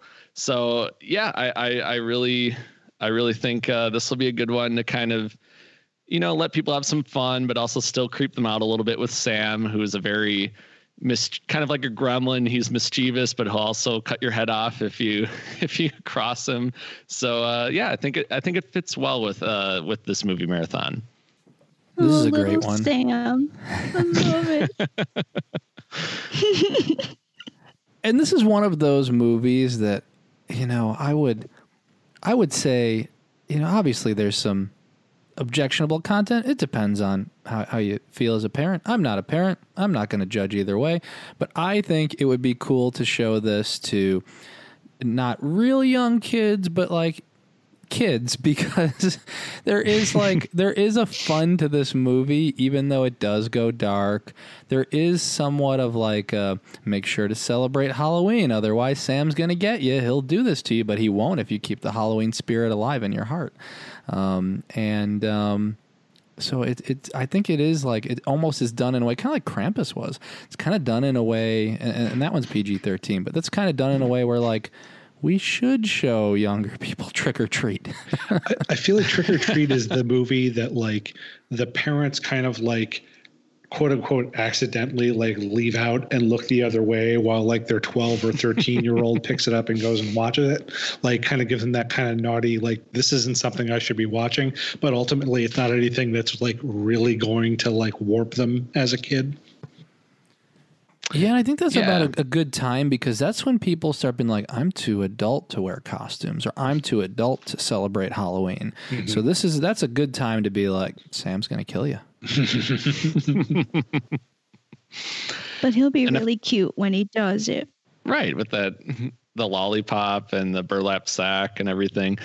And I feel like if you if you start watching it like after the opening scene and then the principal scene and then you started with like the the bus massacre segment which I know still sounds horrifying but I think if you start from that point it actually is mostly like young like a younger viewer friendly because I mean you're skipping like the cyanide and the beheading and all that stuff and from that point on it's actually not too gory but I feel like those first like 20 minutes and I don't know if Dougherty was just like we're not effing around so we're just going to put this right out there right away and I think it works for the movie as as like an adult watching it but I feel like you could almost just say all right we're going to start like 20 minutes in and it's it's pretty family friendly I mean, Yeah, we'll go with that. except for the werewolf I, boobs yeah. well I mean I said pretty family friendly if you're aiming to be a cool parent, then it's family friendly. yeah i mean any movie is family friendly depending on the family Yeah, exactly. As I said, I'm not gonna Well, judge if you're gonna yeah. Yeah, if you're like, my kids saw this when they were five, I'm be like, okay, yeah, it's it's up to you. Um, so, uh, Tamika, we're gonna move on to you. We're on musicals. Um, everybody rocked out to Repo, and um, we're on to movie three. So, what's the vibe like, and, and what's the movie? So I feel like somehow our our picks are in sync with each other because Bryan went kind of dark, and so did I. Uh, although I know it seems like well, all of these are kind of dark, in, if you really think about it. But Sweeney Todd, the demon barber of Fleet Street. Mhm. good I one feel like once we start getting into chopping up people and feeding them to other people, well, that's pretty dark. Um, but still fun, you know, because I still want the crowd to have fun. You know, maybe they're starting to doze off a little bit, although I don't know how on earth you did that after repo, but it happens. I won't judge. And so I thought, you know, the something like somewhat calmer because I think there's something about Tim Burton films that are calm. I don't know if that's the right word, but they are kind of like morbidly relaxed. Put that on a movie poster. so I think you know it'll it'll be you know if you were really worn out by repo and you need like a breather, this is kind of that. Um, but if you're kind of starting to doze off, you know, uh, maybe repo wasn't your thing, I can bring you back with Sweeney Todd, you know? Uh, I just think it is such a lovely film. And I I remember the first time I saw it in theaters, and it's one of the few theater experiences I remember. Um, so I love that. I've kind of like, okay, well, all right. So uh, I again, I love the songs, and almost every one of them are really good. Especially love "Down by the Sea." Um, Helena Bonham Carter, again, it's a great cast. Um, oh, Sacha Baron Cohen. I I don't know if this was like before or after Borat, but this he it was such a surprise to see him in a semi-serious role and to hear him like like to see his range. You know, I mean, I, I I always knew he had range, but to see him in a musical and to be over the top, but it's still muted, so it still kind of feels like a real person. I just was really surprised by him.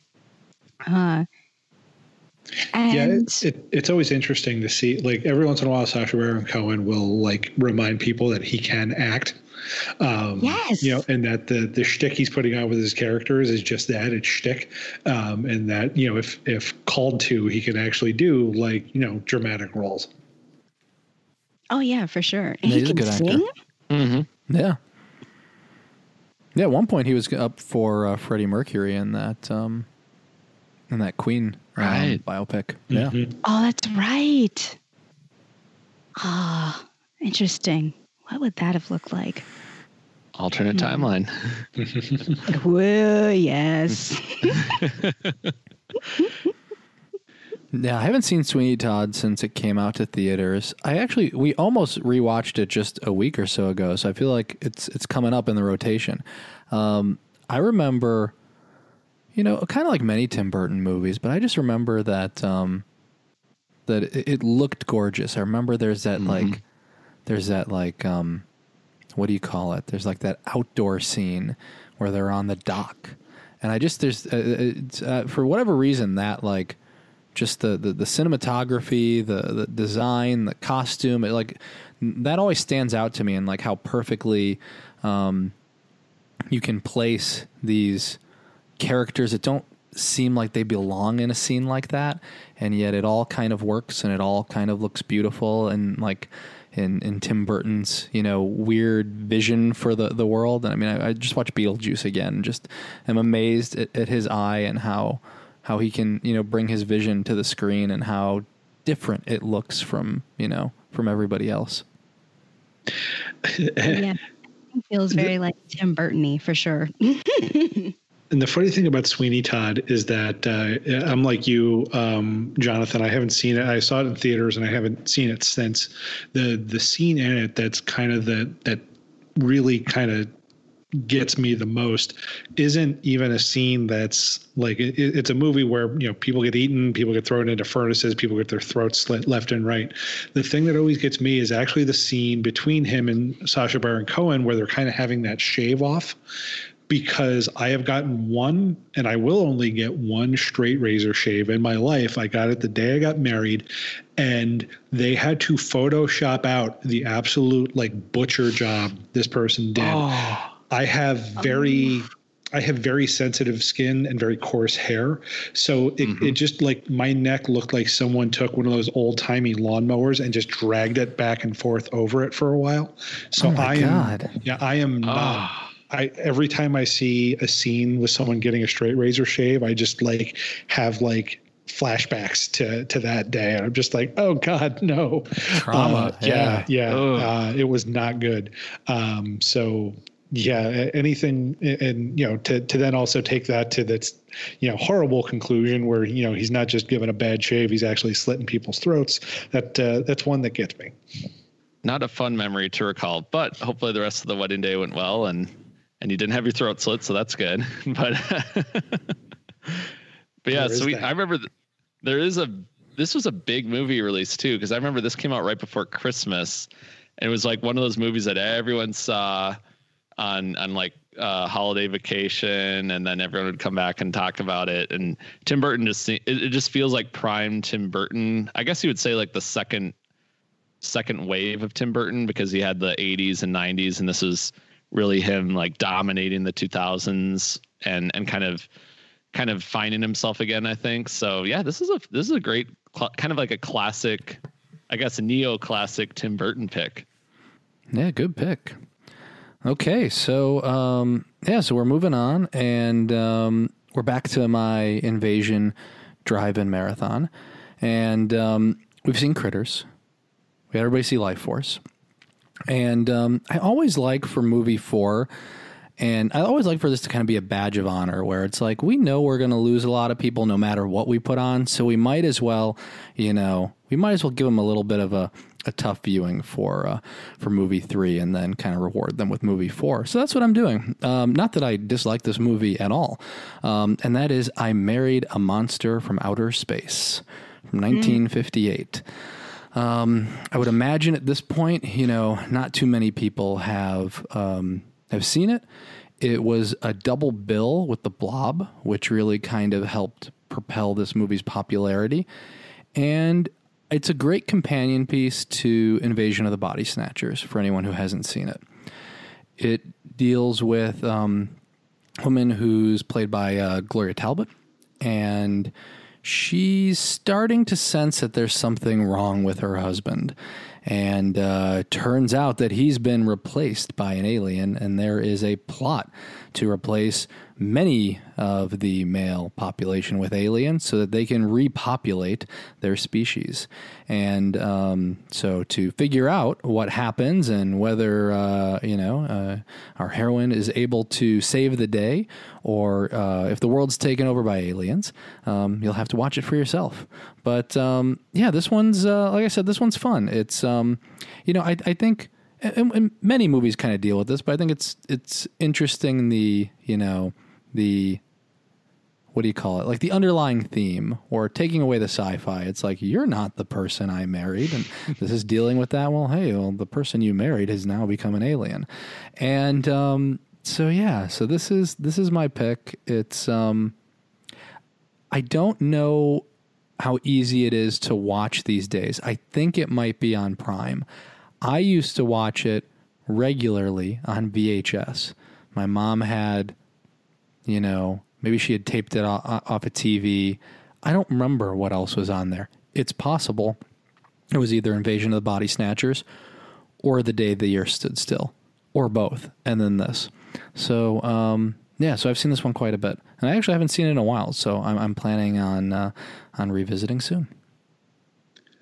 So, Jonathan, I got to hand it to you. Not only have you come up with a movie that I haven't seen, this is the rare movie that I've never even heard of before. So you're you're definitely going with a uh, I don't know if it's a deep cut or just a, a random blind spot of mine, but yeah, this is uh, I, am really wanting to go to your your evening of movies because it's going to be a lot of stuff either I haven't seen for a very long time or I haven't seen at all.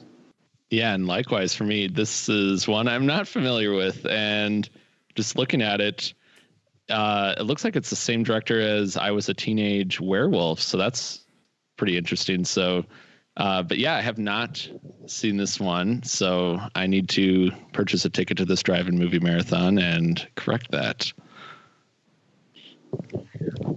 Well, it's time to make it a, a triple.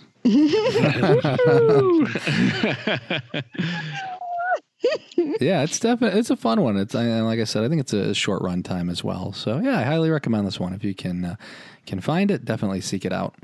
Um, but yeah, with with that, we're uh, we're gonna have another brief. I'm not even gonna use that anymore. We're gonna have another intermission before we get to our fourth movie.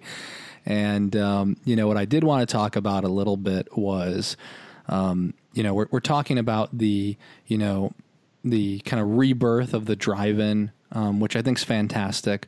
Excuse me but I know that not everyone has a chance to go to the drive-in. Maybe there's not a drive-in there. Maybe um, you know, in some cases, um, some drive-ins maybe don't have um, as much social distancing as others. So I can understand maybe you don't want to go to the drive-in. Um, the ones that I've been to, they what they did was they removed the extra. Um, it, they would have like these spaces that fit two cars. They'd remove one, um, so it was only one car to a space. And so we felt very comfortable when we did it. but if you don't, you may want to just have a drive-in or have an event.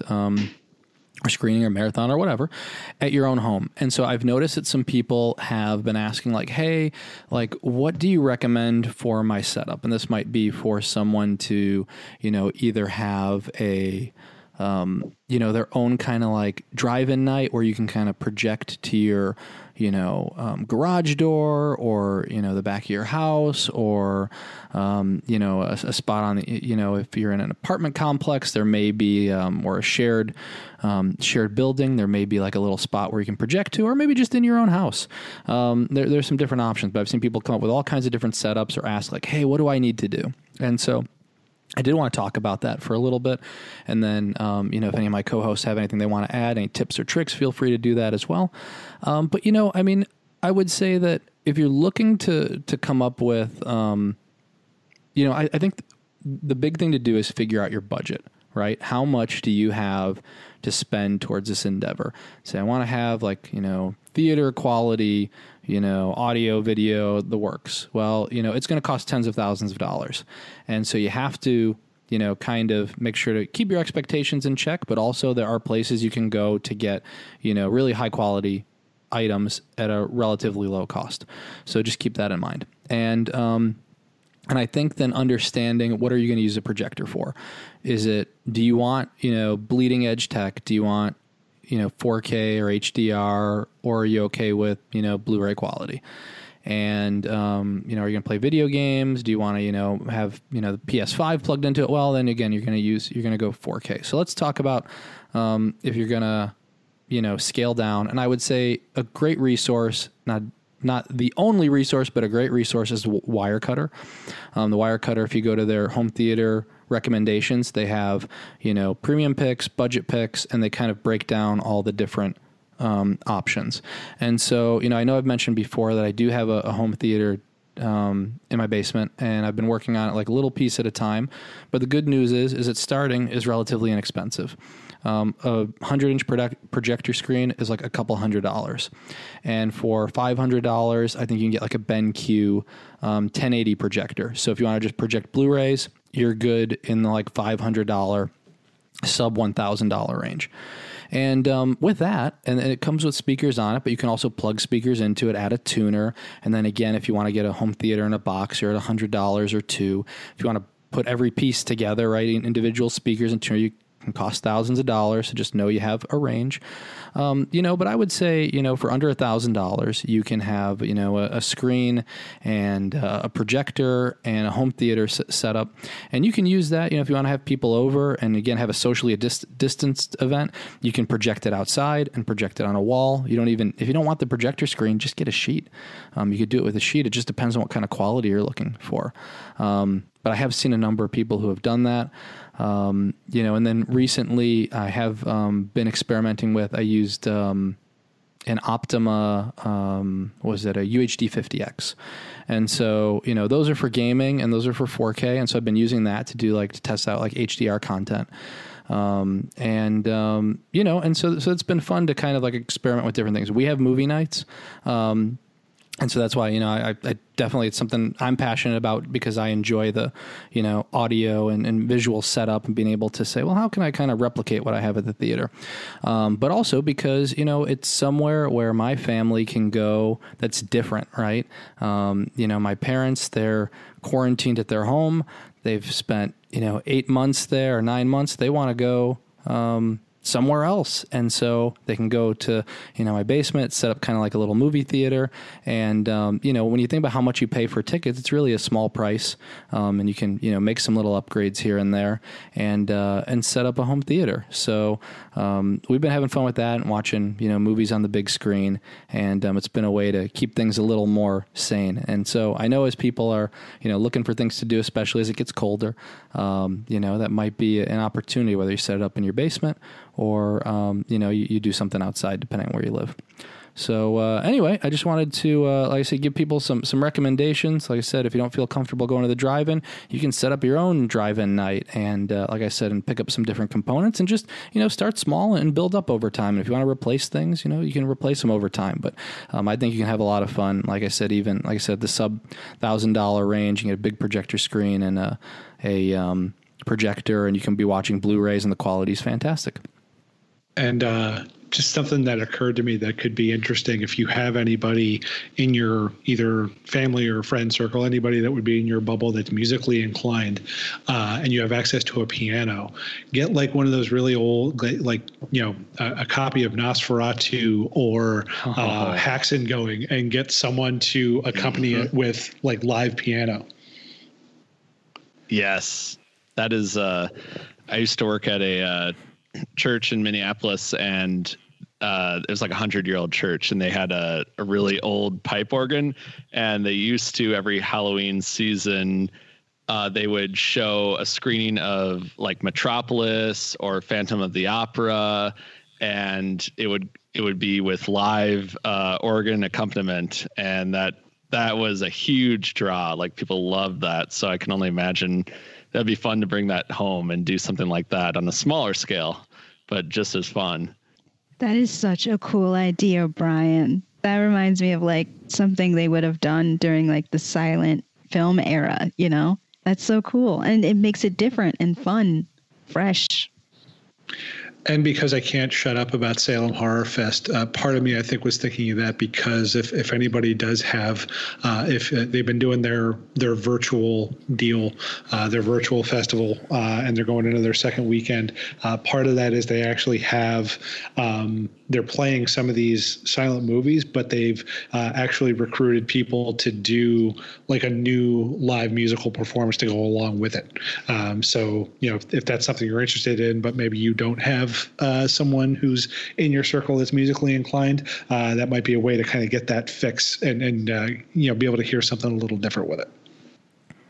Yeah, yeah, there are a lot of great you know th- there's a lot of great content from Salem Horror Fest um, including um, Bryan. Why don't you tell them what you what you did? We we got to we got to plug it. okay, it's pretty I, awesome. I swear to God, I didn't do this as like no, you didn't. It, but I'm glad you brought it up because then it reminded me. Because yes, so yes, um, I am actually uh, presenting uh, at Salem Horror Fest this year. Um, so to, to, just to give people a, an idea on kind of how it's working, they're doing this this virtual kind of buffet of content. So there's different uh, panels, there's uh, movie premieres there's there's uh, some different lectures and things like that which you can see on demand uh, based off of like you can either get an all access uh, pass for the year and just get you know access to all the content between now and uh, next year's event, um, or you can you know if you just want to buy a specific weekend, you can do that. Um, and uh, actually, this weekend I'm part of the the content that's lined up. Uh, I'm going to be uh, I'm doing a reading of Edgar Allan Poe's uh, Masque of the Red Death, uh, along with a kind of about a half hour intro with some information about kind of the history of pandemics, some of some short biographical biography on uh, Edgar Allan Poe and kind of how those two things came together for Masque of the Red Death, and then I'll, I'll do a reading. Um, you know, it should be pretty cool. Um, and uh, you know, a couple people have uh, have heard it so far or seen it, and they, they seem to have enjoyed it. So if you're uh, looking for for something to check out for some content at Salem Horror, I definitely recommend it because uh, it's me, and I think I did a good job. Yeah, check it out. And very timely. yeah, yeah. um, m- more now than maybe when it was first announced, especially. And and you know what too? And Masque of the Red Death, I think, came out on Shudder, so it's like it's perfect timing. Um, but yeah. So um, so anyway, um, yeah. Let's let's move on. We uh, like I said, we have our um, our fourth and final um, pick at the drive-in and our movie at the drive-in it's it's late, you know. I mean, again, like we're at, you know, if, if at the drive-ins I go to, if we're at movie four, you know, we're at like two o'clock in the morning because every movie is gonna, even if the movie's an hour and a half, it's gonna be about two hours because you got the break time, you got the trailers, you got if they do any programming in between. So yeah, we're at, we're around two o'clock. So people are falling asleep. Um, you know, some people are, are forced are holding their eyelids open, um, and uh, so for too good to be uh, true, we have uh, we've had Gremlins two, we've had Predator two, we have Pet Sematary two. Um, what are you ending it with, Bryan? So this is exactly what I'm thinking with my pick. People are getting pretty loopy. Um, they've just been through, you know, something of a downer of a movie. Uh, so we need something that's just going to go a little bit bonkers. And I don't think you can get much more bonkers than Slumber Party Massacre Part Two. Um, for those who are familiar with the series, uh, who are familiar with the first one especially, um, you know, from uh, Amy Holden Jones, it's kind of known as uh, a, a slasher that was written and directed by women. And kind of leaned into the silliness and kind of the the stereotypical tropiness of the the, the different slasher tropes. Um, you know, it, it, was also like it stayed kind of low key and that it wasn't going too over the top in its silliness. Uh, it just kind of like it was aware of the way slashers are um, and just kind of leaned into that. Um, when writer and director Deborah Brock took over for the second one, uh, she just decided to go absolutely batshit crazy. And she turned it into a weird, nightmarish greaser 50s musical where the uh, the killer from the first one, uh, who uh, his kind of his his weapon of choice is a drill, uh, he's come back with supernatural powers uh, that include um, a leather jacket uh, greased back hair, and his drill is now connected to a an electric guitar. And this movie is just so out of its mind, you can't help but love it. Like it, it, would it would fit in well with um, uh, Tamika with your horror musicals because there is like there are musical breaks in this movie, several of them, where the killer just goes into a full song and dance routine, um, and it features uh, an interesting cast. Uh, our our final girl is played by Crystal Bernard, who uh, you might actually know as Helen, the lunch counter lady from uh, Wings, the uh, the '90s sitcom. Um, it's also got uh, what is her name? Um, uh, I can't remember off the top of my head what her name is, but you. it is uh, Robin uh, Juliette Cummins, uh, mm. who, who, you might know as Robin from Friday the Thirteenth Part Five. Um, she was also in. Um, uh, Psycho 3. Uh, also, Heidi Kozak, who you might know from Friday the 13th Part 7. So there's definitely some nice, uh, you know, bringing in of uh, some some Friday the 13th franchise folks. Um, and it's just like this movie is just so bonkers and so over the top. Um, I only saw it probably within the last year or so for the first time, um, and I instantly fell in love with it. Uh, it's uh, it's streaming on Shudder right now, but I, I, do think that it would be a great one to just cap off a, a night of of sequels uh, at uh, at my drive-in. I love it so much. You are right. I I I uh this it would fit I think well with just like some of the best horror musicals. Like the it's just again bizarre. It's my favorite word of the evening. just love it, love it so much. This movie's incredible. this I, one this is an excellent way to end a drive-in because you end it on such a high note. Mm-hmm. People are feeling good. People are actually awake. People can actually drive home. Mm-hmm. and um, this is a movie that everybody needs to see. This. I had a friend of mine who I program 31 days of horror movies for him, and I've been doing it for a few years now. But he still always talks about how much he loved Slumber Party Massacre 2. it's like it's going to be a yearly watch for him now after having seen it a year or two ago.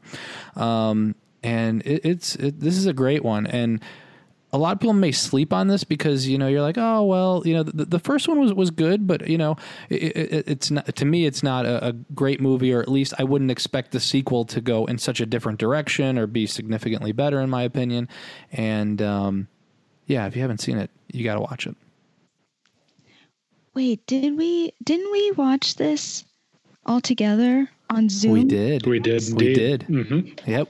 That was your first time seeing it. M- me? Us? It wasn't. Bryan? I, oh, no, no, no. That no, wasn't no. my first time. Yeah. I, um, it was. Um, it popped up randomly on one of uh, Shudder's. Like you know, they have those uh, the kind of constantly streaming uh, the the three stream channels. I think it was on like it's uh, the the Slashics uh, channel, um, and I was just immediately sucked in. That was a good watch. I love that we watched that together. It's a good memory. yeah, that's a that, that's a great one, uh, and a great way to end your drive-in. So um, let's move on to Derek, and um, you know, Derek, we're I wish I remember. No, I do remember. I have it here. It's Oktoberfest. It feels like fall, and it's fall fling. Depending on where you're having your drive-in or your version of this drive-in, use whichever one you feel more comfortable with. And so, um, people saw Hocus Pocus and Halloween Four and Trick 'r Treat. What is the state of your drive-in and your patrons at this point? And what is your fourth movie? Well, by this point, they're feeling a little sleepy. Although I, I think energy wise, it's you know they should be on a little bit of a sugar rush from Trick 'r Treat. They just saw Sam running amok and dealing out Halloween vengeance. So I feel like maybe even if they are a little tired, they're gonna have a little bit of an energy surge coming into the fourth movie. And because it's super late, it's super late into the night and their mind might be playing tricks on them. They're kind of in this half awake state. And I think it's the perfect time to play what I think is like the ultimate fall horror movie, and that is the Blair Witch Project. And nothing feels more fall to me than this movie just because it's almost entirely in the woods. It just has, I don't it just feels like you're fully immersed in the woods in the fall and the crunch of the leaves and the barrenness of it. Everything just kind of comes together in this big melting pot where I feel like it just exemplifies the spookiness of the season.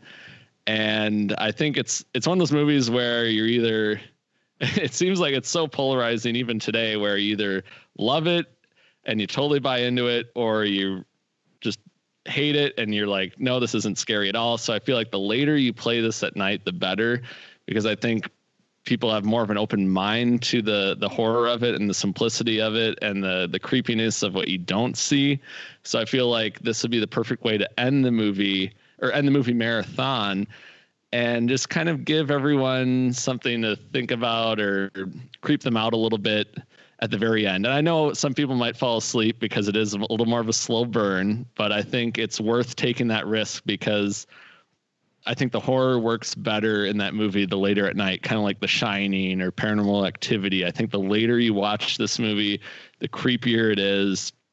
And it's going to make you just want to go maybe take a walk in the woods uh, around fall time or maybe not. yeah, Derek, isn't it going to have like the exact opposite effect if it's uh, no. if it's doing its job?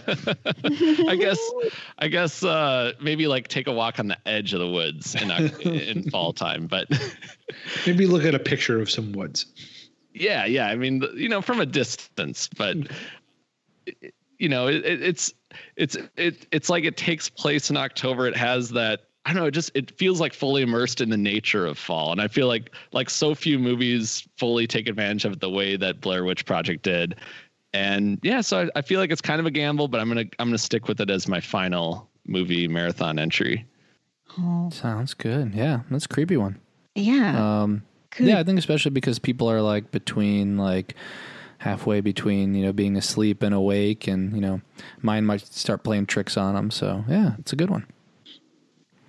Um, so we're gonna move right on. Tamika, your theme is horror musicals, and um, you know we had The Nightmare Before Christmas and Repo and Sweeney Todd. And so, what's the state of your audience, and um, what's your final pick?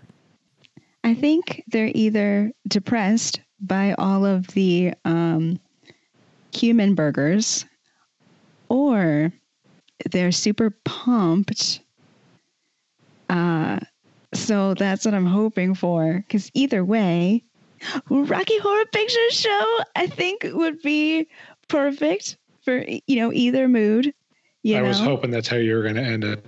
Yes. I mean, is there any other way to end a horror musical lineup? Right. I mean, you're ending with a party. Yeah, exactly. Do the time warp. You know, maybe do the time warp back to the beginning of the drive through. I mean, drive through, the drive in, mm-hmm. you know, marathon, start it all over again. Um, you know, hang out with some fun, weird characters that have, you know, uh, they have pizzazz, you could say, one could say. Um, and again, you know, very few of the songs are terrible. I think that's really important. I I I think that in order to keep people engaged, most of the songs have to hit. You know, you can't have a really good one in the beginning and then like an eh song and then end off, you know, really well. They have it, there's got to be like a level of consistency. So that's definitely true of Rocky Horror Picture Show. And I think it might even kind of fit with no, I totally would. It totally I feel like I'm working this out as as I'm speaking. But it it could be kind of like a, a midnight situation where you could like throw things at the well hmm, maybe not that maybe that's not They can throw things towards the screen though. yeah I, I don't you know well you could do that at my drive-in if i owned the drive-in you could throw things at the screen i, I don't know how that goes um, with other people's drive-ins.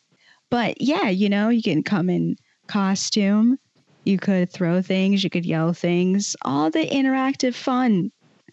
Um yeah. And then I, I think you would definitely be able to drive home because how could you not wake up once time warp hits? No, everybody's going to be awake for that one. yeah. I hope. Yeah, that that is an energy uplifter. I mean, you can't be tired by the time that movie ends. And it's the ultimate midnight movie too, so it just works on so many levels. It's the perfect time to play it. It's the perfect venue.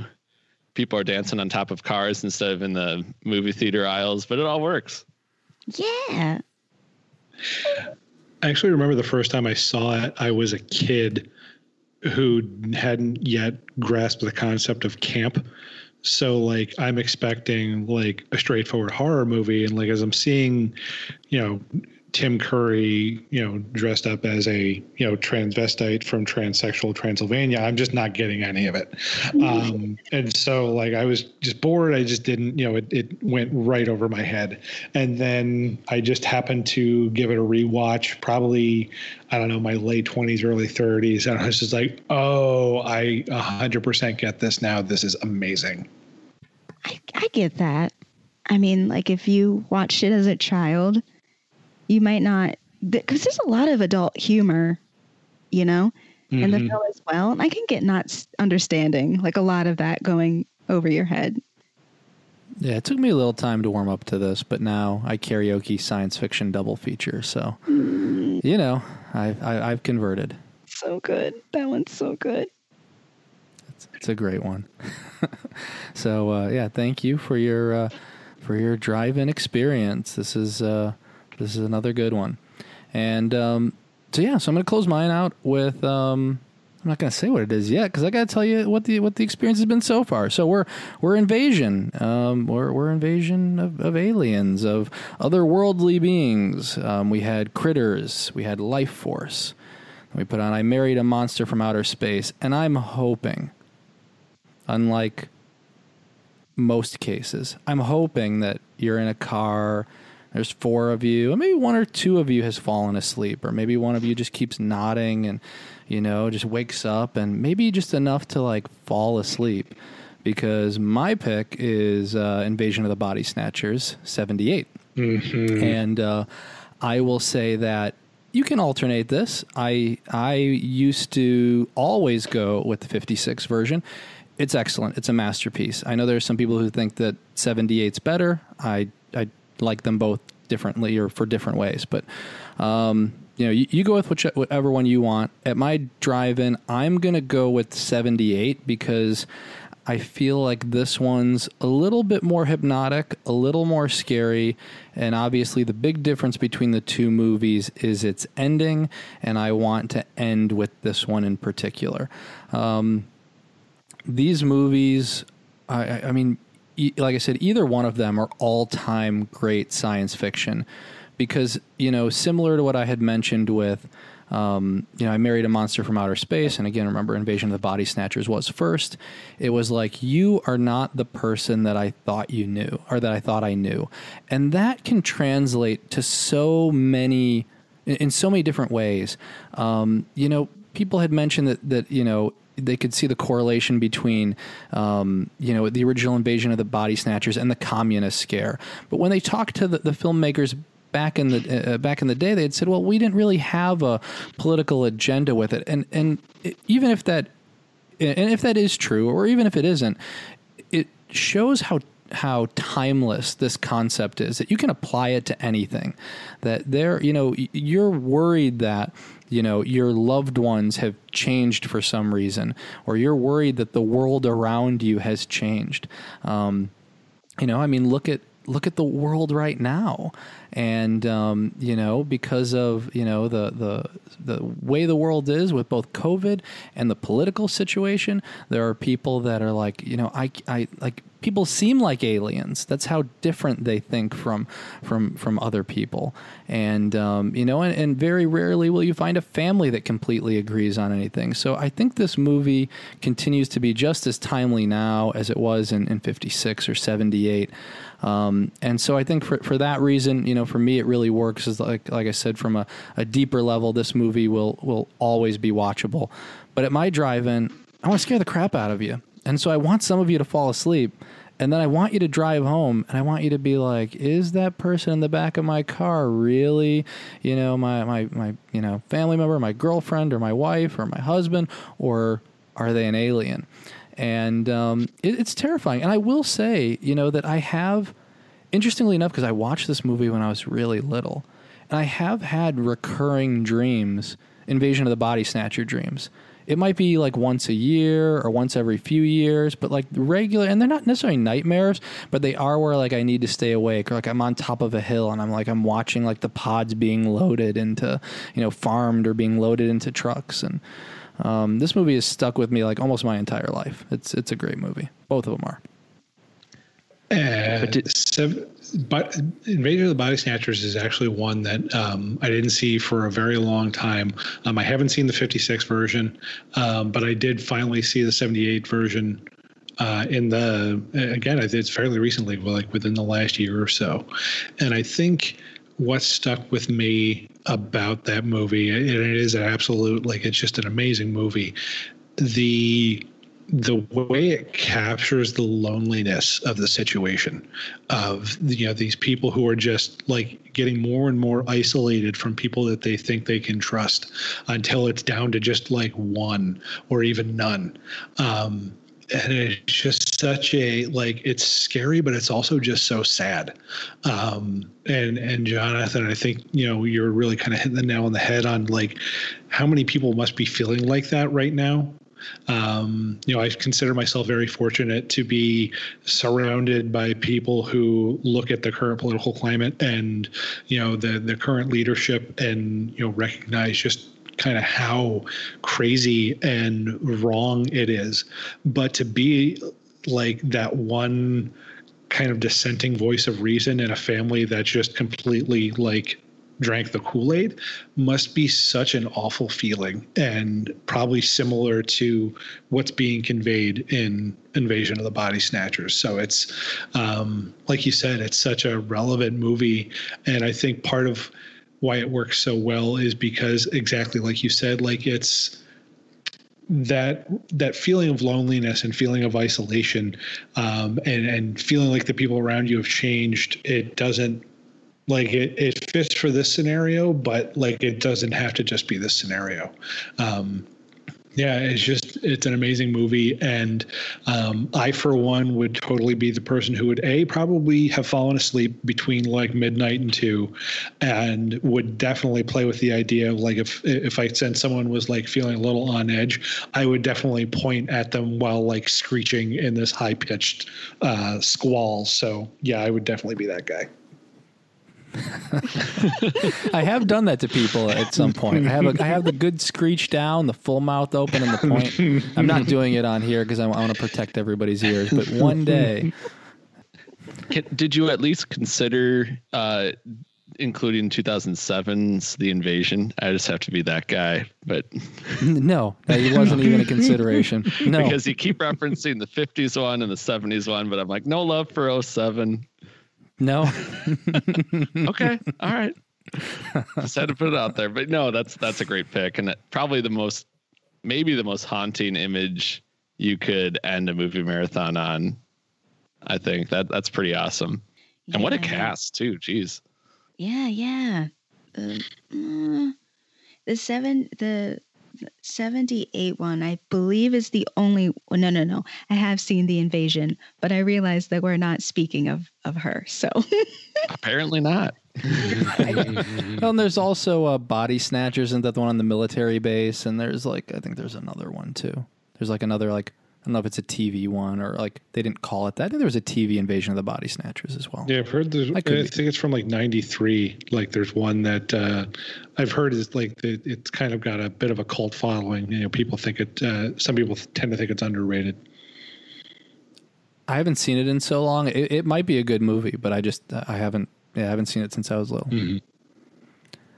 Hmm. But uh, but yeah, so thank you, um, you know, to to my co-hosts for putting together such awesome uh, movie marathons, and um, you know, thank you to uh, our listeners. You know, we are always um, very appreciative for your your help and support, um, and uh, hopefully that we have some movie picks and some some marathons that you'll check out. If you do, um, please do let us know on social media and um, you know, and uh, or, or email us.